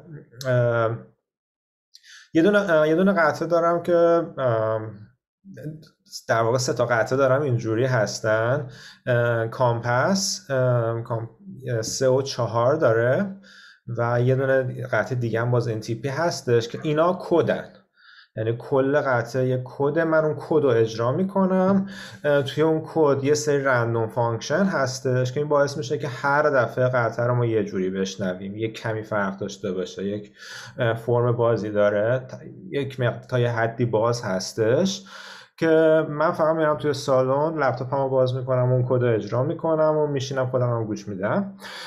یه سری قطعات فیکس مدیا هستش که اون قطعه ها رو باید برم توی سالن و با میکسر تمرین کنم. چون که هر بلنگوی یه جور صدا میده هر بلنگو رو کجای سالن بذاری مهم هستش. خود سالانه چجوری صدا میده؟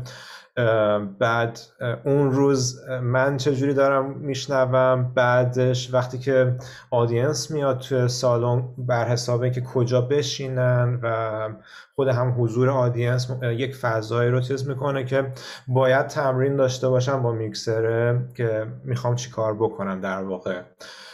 و توی اونجور توی اونجور اجراها شدت صدا خیلی مهمه. یعنی می‌تونه چون که تو الکترونیک ما می‌تونیم راحت یه صدای خیلی خیلی بلند داشته باشیم یا راحت یه صدای خیلی خیلی پایین داشته باشیم کار راحته. اون باید تمرین داشته باشم. بعد و یه سری هست خب کارام هستش که improvisation ه با کامپیوتر یعنی دارم improvise می‌کنم و اونا خب آره قطعا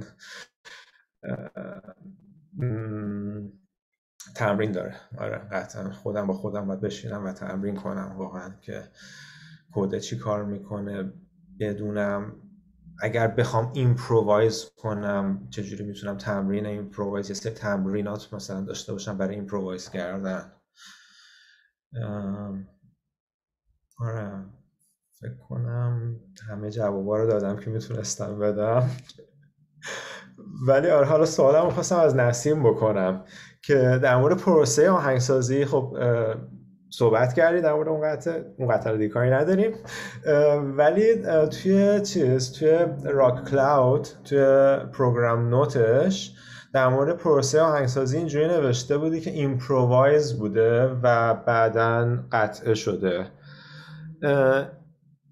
اینجا این هم یه جور, یه جور تحقیق هستش یا این یه جور یه داستان دیگه است؟ این چیه؟ اتفاقا ببین قطعه راکلا خیلی قطعه بود که خیلی راحت نوشتم. چون اول اینکه خودم نوازنده زهی هم ساز زهی رو خیلی خوب می‌شناسم. بعد اینکه خب آره یه سری تجربیاتی بوده که آره خودم می‌خواستم پیدا کنم که مثلا چجوری بشه. تحقیقش رو می‌تونم اینجوری نشون بدم که خیلی قبل تر از اینکه بخوام کارو بنویسم یا بخوام به قطعه شدنش فکر کنم انجام دادم. مثلا داشتم فکر کردم که چجوری من می‌تونم یه پیتس کاتوی داشته باشم که هم راحت باشه واسه نوازنده هم قدرت داشته باشه و هم خیلی سریع باشه. یعنی در واقع اینجا بگم خیلی سریع باشه و یعنی یه جوری یه ابر صدا به هم بده ولی چجوری بشه که این عملی باشه. روی سازم به نتیجه رسیدم بعد یه commission ی بهم دادن منم ایده رو داشتم آماده نوشتم.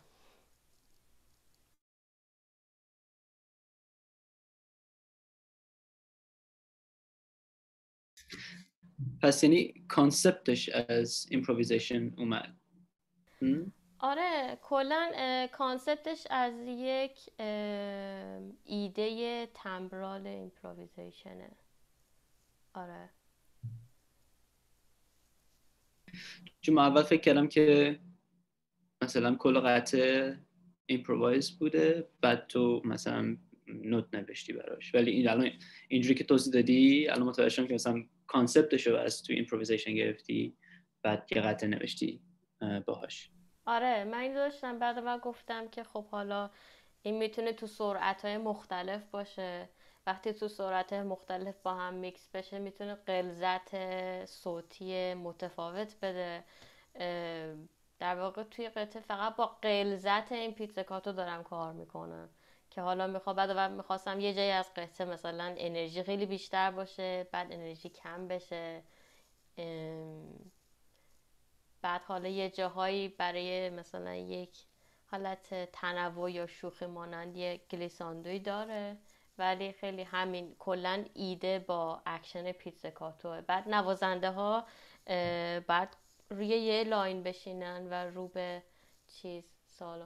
فکر کنم این البته ایده خود نوازنده ها بود که گفتن که ما داریم این کار می‌کنیم. یا تو rehearsal به این ایده رسیدن که توی خط بشینن. اینش یادم نمیاد که این خودم از اول داشتم یا اینکه توی ریهرسال این کار کردیم. که همه رو به رو... گرد نمیشینن. همه رو به مخاطبن.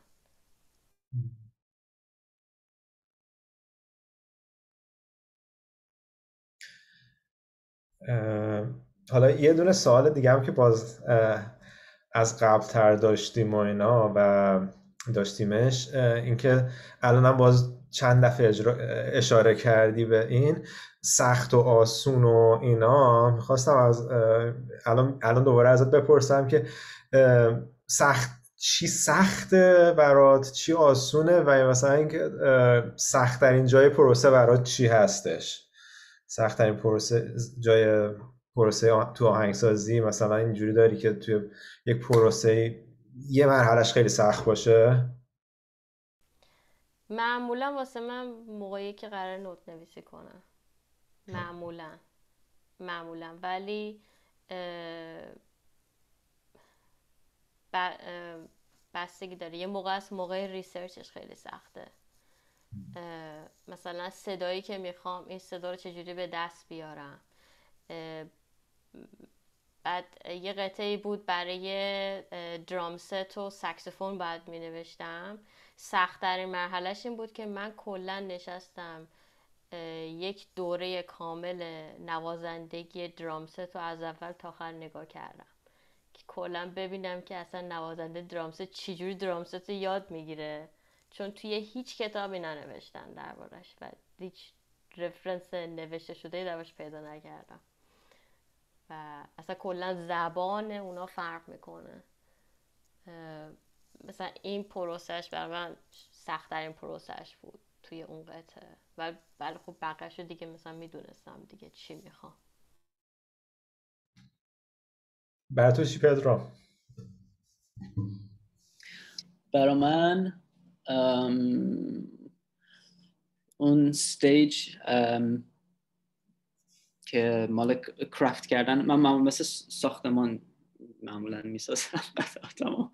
اول اسکلتش رو می‌گیری بعد یه ذره میپوشینی بعد مثلا می‌کوبی بعد همجوری بیشتر تک میشه بعد آخرش تصمیم می‌گیری که خب مثلا من این مدل کابینت رو می‌خوام با این نقش و روش با این رنگ و فلان اینا که میشه این دیگه اون craft خیلی زیاد و detail خیلی زیاد و برای من سختترین قسمت اونه کرافت کردن خیلی دقیق که می‌خوام. برای این کرافت خیلی چیزای مختلف مثلا کرافت تو مثلا کرافت صداها کرافت تمبرا کرافت تاینینگ اینا اون برای من سختترینه. چون که چیز بعد تنها راهی هم که می‌تونم عبور کنم ازش فقط زمان. مثلا فقط من نیاز دارم چندین ماه فقط بشنم هی به کاغذ زل بزنم هی تو ذهنم هی بخوام بشنوم اینو تا اینکه به حالا اینو چیزم هست یکم متفاوت هست برای موسیقی instrumental که فقط با چون با symbol می نویسیم کاغذ دیگه هیچ صدایی نیست بعد تو خودت تصور کنی. بعد مثلا برای موسیقی الکترونیک اونم باز مشکل من craft هست منتها متفاوته. چون already من می‌تونم بشنوم چی گذاشتم.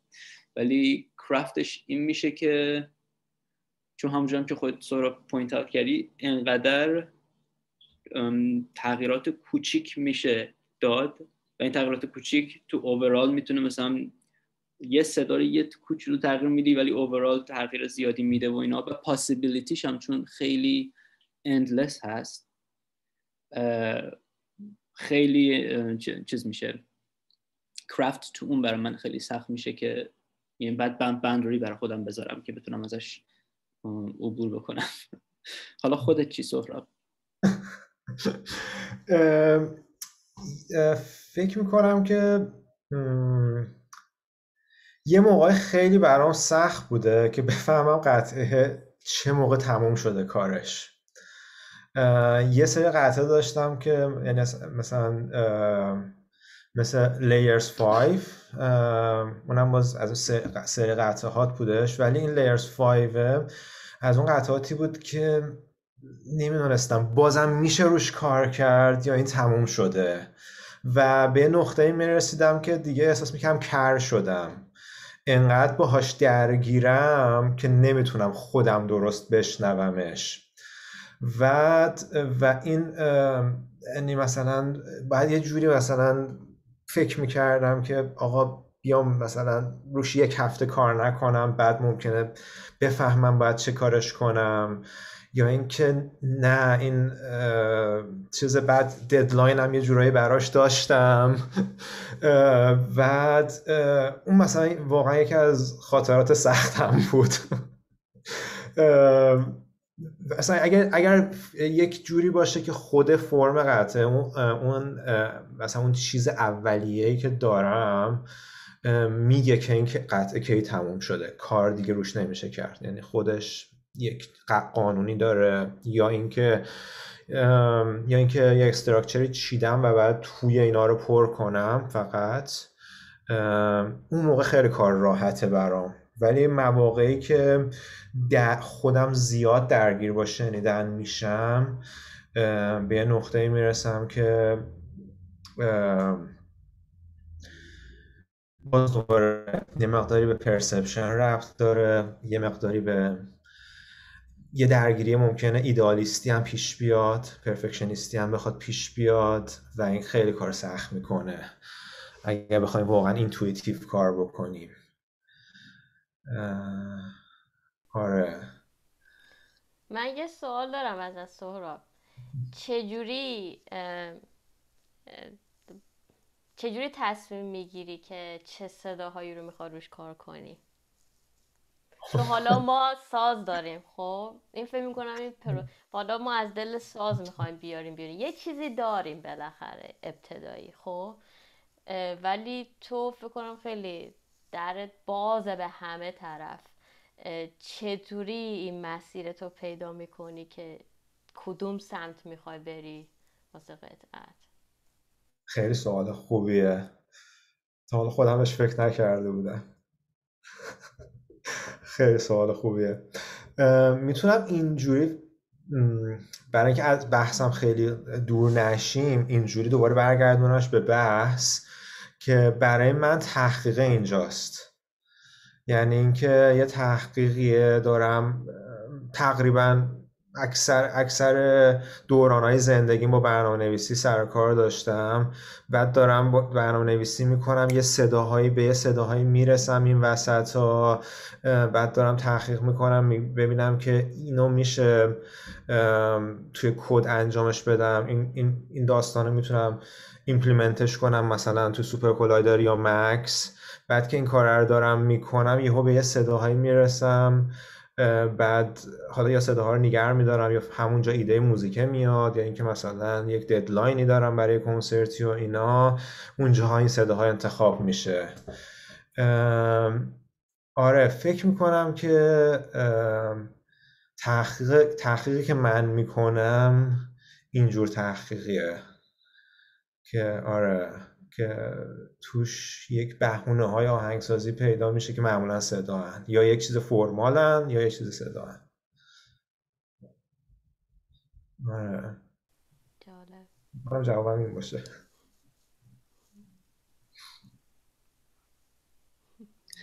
پس یه نه حالت یه sound library می‌سازی برای خودت همینجوری که مثلا داری تحقیقات با همونجوری به قول خودت تحقیق می‌کنی مثلا یه صدایی می‌رسی که interesting هست برات مثلا خب من اینو من برمیدارم حالا شاید الان استفاده نکنم ولی می‌ذارم تو sound library شاید مثلا تو قطعات تو آینده مثلا استفاده کردم که آره اینجوری من متوجه شدم. فکر می‌کنم اینجوری آره آره. اینقدر هوشیارانه تا الان بهش فکر نکرده بودم. ولی آره. آره آخه یه مثلا یه چیزی هستش یه چیز سنتی مثلا بوده توی computer music که مثلا اون حالتی که Csound داشته اون تفکر Csound ی که ما یه دونه ارکستر داریم برای اون ارکستر میایم score می نویسیم این مثلا میوزیک انه مثلا مکس ماتئوس همش دورور این داستان بوده. ولی از یک جایی به بعد کامپیوتر میوزیک خیلی پیچیده تر از این داستان شد که دیگه فرم و استراک موزیک استراکچر رو نمی‌دونم. همه این چیزا داره نزدیک میشه و یک چیز میشه. واسه همین نمی‌تونم بگم فقط یه دونه صدا دارم. اون صدا احتمال زیاد یه ایده موزیکال پشت سرش هستش. آره. ولی آره ولی همچنان یک جنس های صدایی هستش که یادم میمونه که آها می‌تونم اینو از اینجا الان اینجا استفادهش کنم. دقیقا میرم از روی لایبراریم درش میارم میارمش اینجا و احتمالا هم باید یه جوری بخورونمش. چون که این خودش موقعی که داشته ساخته می‌شده یه جای دیگه بوده. الان من وسط یه composition دیگه هم آره این اتفاق برام میفته الان که دارم بهش فکر می‌کنم واقعا اتفاق میفته آره. این سوالی که نسیم پرسید خیلی جالب بود چون که این سوالی هم هست که من خودم خیلی بهش فکر کردم. وقتی که موسیقی الکترونیک می نویسم چون که مثلا همونجور که گفتی موسیقی و مثلا سوالی هم بود که من همیشه من همیشه درگیرش بودم و با خیلی صحبت می‌کردم و هم خیلی خوشحالم که این پرسیدی و خیلی هم خوشحالم که جواب سهراب و شنیدن برام خیلی جالب بود. ولی آره این سوال همیشه من فکر می‌کنم که خب مثلا آنسامبل مثلا string quartet. یعنی already یه sound library هم دارن بهت میدن. میگن خب این آنسامبل میدن یعنی در واقع میگن این sound library بنویس. ولی مثلا موسیقی الکترونیک همونجوری که یعنی من همونجوری که خیلی شبیه به سهراب متفاوت برای همین خیلی برای من خیلی جالب بود که پروسه تو توضیح دادی. چون منم در واقع جوری که توضیح دادی یه حالت باوندری برای خودت می‌ذاری. چون که میگه خب پاسیبیلیتی صدا خیلی زیاده ولی مثلا من باوندری اینه که مثلا من با این صدا کار کنم. منم وقتی که با الکترونیک کار می‌کنم حالت اونطوری داره. ولی مثلا من خیلی بیشتر به قضیه research من ربط پیدا می‌کنه مثلا به قضیه poetic قضیه قطعه. یعنی خب مثلا قضیه poetic ش اینه. من تمام شروع می‌کنم با صداهایی که به این قضیه ربط دارن شروع می‌کنم با اونا کار کردن. بعد یه library می‌سازم. بعد شاید یه لایبرری داشته باشم از قبل صدا بدوزنم از اون بدوزم یعنی که این بردارم استفاده کنم. به آره یعنی باندری من میشه اون صداها اونا. وگرنه دقیقا همونجوری که نسیم گفت این پاسیبل میشه نوشتم چون که اینقدر پاسیبلیتی زیاد هست که آره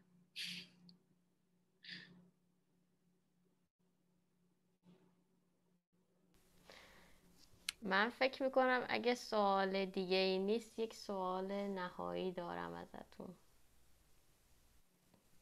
من یه سوال بپرس پس سوالت. سوالم این بود که سوال نهایی تو چی هست؟ می‌خوام کنچاف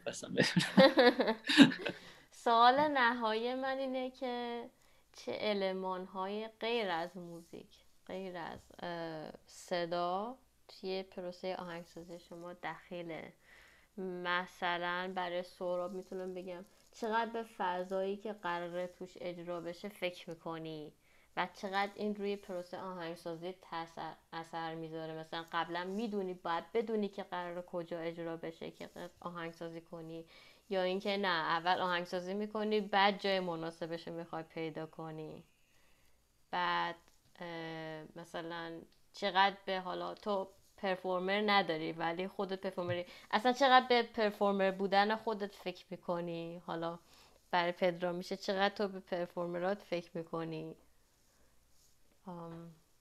من فکر کنم خودم این سوالو قبلا جواب دادم. از خودتون می‌پرسم. آره این خیلی سوال بزرگی هستش. چون که اگه خودم پرفورمر باشم که پشت لپتاپ هستم و دارم پشت لپتاپ کاری می‌کنم و طرف هیچ فرقی نداره که منو ببینه نبینه هیچ نتکونیم یا چیزی. اصلا اصلا طرف داره ایمیلش رو چک می‌کنه یا داره یه چیزی اجرا می‌کنه واقعا. خب این سوالم چرا فرق می‌کنه؟ البته مثلا اگه تو تو حین پرفورمنس داری راه میری توی فضا از یه دستگاه حالا به دستگاه دیگه بخواه بری یا اون پشت باشه که هیچ کس نبیندت. ولی می‌خوام ببینم که چجوری دوست داری؟ یعنی هدفت چیه؟ می‌خوای کسی نبیندت کلا؟ که فکر می‌کنم الان چیزی که اشاره کردی. چیز نیستش. صرف یعنی منظورت از ندیدن متوجه میشم ولی قضیه فقط صرف ندیدن نیستش. قضیه اینه که من حضوری تو اون صدای ندارم. یا حضور من فقط اینه که خودم دارم میشنوم و یک ریاکشن های انجام میدم با کامپیوتر.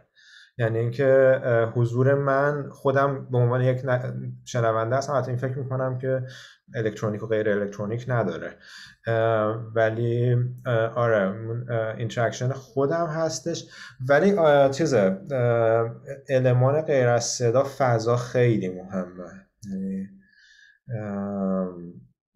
ما اصلا یکی از مهمترین درس هایی که داشتیم اینجا معلممون یه معمار بود و در مورد معماری صحبت می‌کردیم. یعنی اینکه معماری و فضا و ایده که داری توی الکترونیک میوزیک خیلی هستش. اینکه من بدونم که اون سالونه هشت اسپیکر داره یا چهار تا اسپیکر داره. مثلا آره یکی از مثلا یکی از قطعاتی که خیلی دوست داشتم بود که برای سه اسپیکر بود در واقع. یعنی چیز خیلی غیر استانداردی بود. و این داستانه هم آره این داستان فضا بعضی موقع باید بدونم که این قرار کجا اجرا بشه. و به این فکر کنم که اگر اسپیکر به شنونده نزدیک باشه این یک چجوری بگم؟ یک فشار صدایی رو داره رو نوازن. اگه این اسپیکر دور باشه من باید به این فکر بکنم که صدام آیا می‌خوام انقدر دور باشه یا نه؟ می‌خوام صدا هنوز همچنان جلو باشه و این رو کل داستان اثر می‌ذاره. آره از این نظر فضا خیلی مهمه. یه سوال فالا شده بخوای آکوستیک فضا رو عوض کنی برای اینکه به هدفت برسی؟ معمولا این معمولا امکان نداریم اونقدر. آره. ولی چیزه ولی خب مثلا یکی از تجربیات فوق العاده کار کردن با ویفیل سینتتیسه که مثلا یه سیستمی که ما توی همون دنهاخ داریم اینه که 192 تا اسپیکر دور تا دورته و به این وسیله هر فضایی رو تقریبا می‌تونی درست کنی. در واقع صدا تو می‌تونی هر جای دیگه بذاری. حالا و آره اون اون ایدئاله. اون, اون, اون امکان امکان ایدئالیه. یه follow-up دیگه. من یه کاری از برنارد لایتنر دیدم. نمی‌دونم میشناسیش یا نه. دقیقا معماریه که با از معمار شروع کرده که حالا صدا رو روی معماری داره کار می‌کنه. خیلی با آکوستیک سر کار داره خیلی با اسپیکره و صدا رو میفرسته یعنی شنید بحث شنیداری میفرسته به کل بدن. بعضی اوقات صدا رو تو مجبوری از زانوات بشنوی به جای که از گوشت بشنوی. بعد یک یه کارش که دیدم خیلی برم جالب بود این که ساوند رفلکتور داشت اگه اشتباه نکنم اسمش یه چیزی مثل آنتن ماهوار است. بعد این کار اسپیکر رو انجام میده ولی صدا رو رو خود این نمیشنوی. این حتما یک دونه رفلکتور می‌خواد یه سطح فلزی رفلکتور می‌خواد اونجا صدا رو میشنوی. حالا سوال من بود که تا به حال شده مثلا به این مدل فکر کنی که شنونده قرار باشه روی یه سری سطح خاصی فقط کارتو بشنوه جاهای دیگه شنیده نشه توی سالن. یا مثلا بخوای با هدفون کار کنی. یعنی خیلی بخوای صدا رو مثلا موضعی کنی اینجوری بهت بگم. توی wave field synthesis آره. توی ویفی سینتزیس یه قطعه دارم که خب متاسفانه نمی‌تونه آنلاین و اینا باشه. دسترسی. ولی این قضیه هستش که مثلا صدا داره از خیلی خیلی خیلی خیلی دور میاد بعدش داره به همون نزدیک میشه و از پشتمون خیلی خیلی خیلی خیلی دور میشه و این صداهایی که دارن میان یک تصادفایی می‌کنن که تو اون لحظه که به وسط سالن در واقع می‌رسن یه حالت تصادفی داره اتفاق میفته و دارن از هم دیگه دور میشن. در واقع این یکی از اون یکی از اون قطعات نادری بود که از صدای ضبط شده استفاده کردم که یه صدای زدن به کاسه است با یه جسم فلزی و با یه جسم چوبی و اینا زدم به کاسه و اینا رو ضبط کردم که این صداهایی که از دور میان انگار می‌خورن به هم دیگه و از هم دیگه دور میشن. آره اون این یه مقدار شبیه اون ایده ایه که تو میگی. ولی آره مثلا یا اینکه یه سری چیزهایی که قرار آنلاین باشه و اینا رو فکر کردم که مردم احتمالا استریو گوش میدن یا با هدفون گوش میدن و به این نکته توجه کردم که خب مثلا اصل قطعه چهار کانال بوده. تو استودیو با چهار تا کانال کار کردم با هشت تا کانال مثلا کار کردم. ولی این. آخر سر قرار با هدفون باشه پس پلیسمنتش چجوری میشه؟ آره. یه کمی شبیه اون سوالی که تو کردی. خیلی جالب بود. من الان کنجکاو شدم حتما این کار تو از نزدیک بشنوم. خب برای منم خیلی چیزایی که سهراب گفت خیلی جالب بود. چون که چیزایی تو زنم داشتم خیلی رو گفتی. مثلا همه قضیه فضا دقیقا همونی که گفتی. مثلا حالا من خیلی دارم با mixed music مثال می‌زنم. چون که الان تو چند ماه اخیر دو تا قطعه mixed music دارم می نویسم ذهن من mixed music فقط. ولی آره مثلا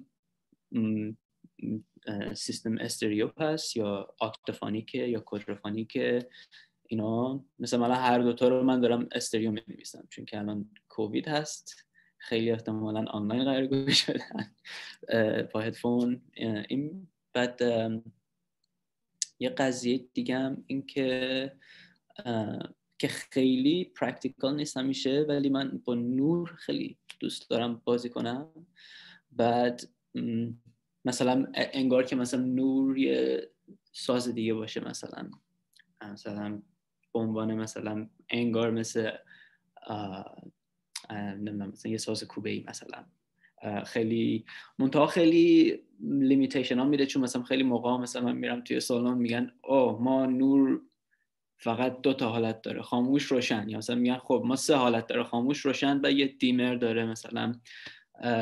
کم مواقع میشه میگن که خب آره مثلا ما می‌تونیم نور آبی هم بدیم نور قرمز هم بدیم یه دفعه بعد مثلا.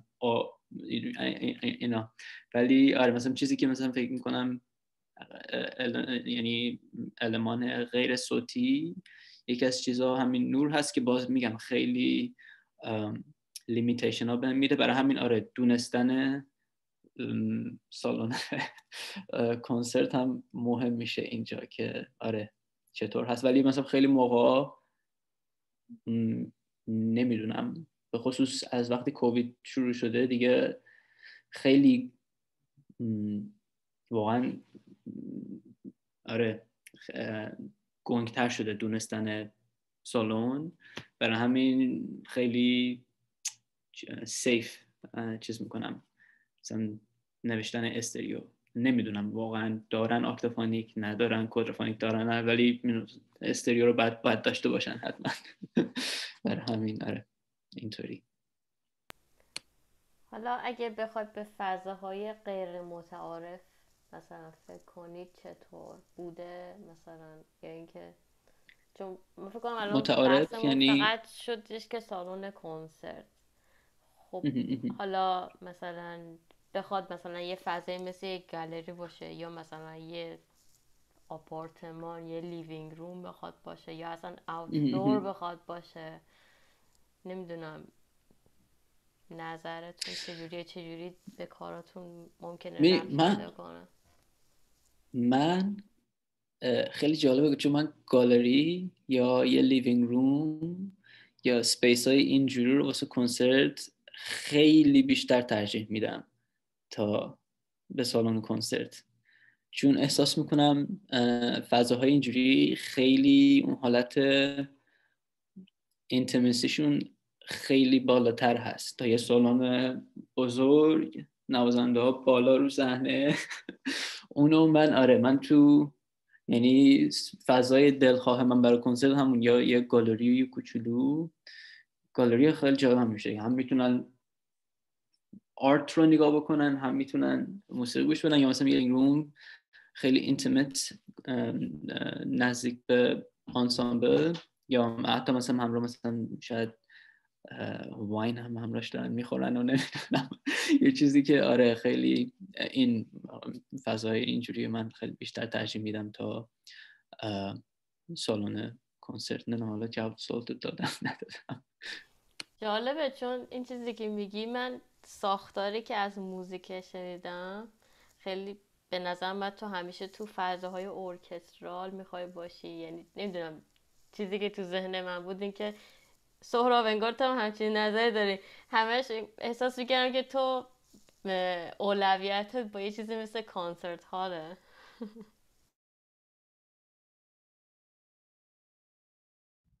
منم همین فکر رو می‌کردم در مورد پدرام. ولی آره منم آره منم گالری و اینا رو ترجیح میدم. منم جاهای همون اینتیمسی اون که یه مقداری صمیمی تر باشه رو ترجیح میدم. ولی آره بعضی از مثلا قطعه بوده که ترجیح می‌دادم واقعا سالن بزرگ باشه و آره، یا مثلا می‌دونستم که سالن کنسرواتواره اینو از قبل می‌دونستم و آره روی فکرم هم تاثیر گذاشته جورایی شاید. چه خداگاه چه ناخداگاه که آره سالن بزرگه یا سالن کنسرتیه سالن برای کنسرته ولی خب مثلا آره یه اجرایی بوده که می‌دونستم مثلا گالری این واقعا رو نوازندگی من یا مثلا آهنگسازی هم تاثیر میذاشته. تجربه آتدور رو ندارم ولی آره در موردش کنجکاف هستم.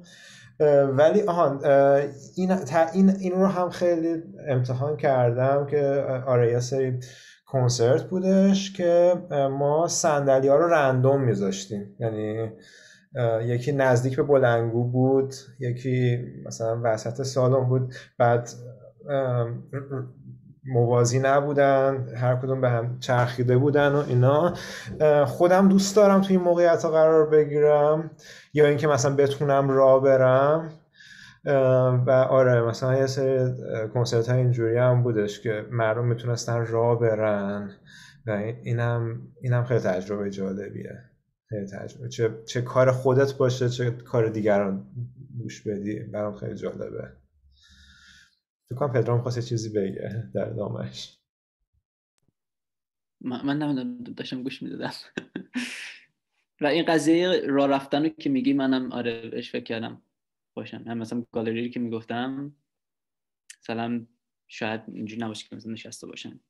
دارن گوش میدن و راه میرن مثلا آرت رو هم نگاه می‌کنن.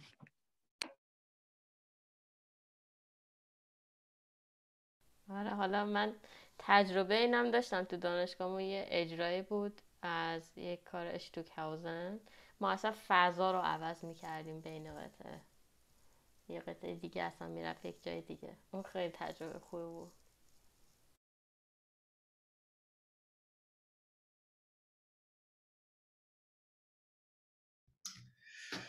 خب فکر کنم همه چی رو پرسیدیم دیگه. البته فکر کنم بازم می‌تونیم بپرسیم. آره من هنوز می‌تونم سوال بپرسم ولی آره ما می‌تونیم اینجا فعلا آره. آره.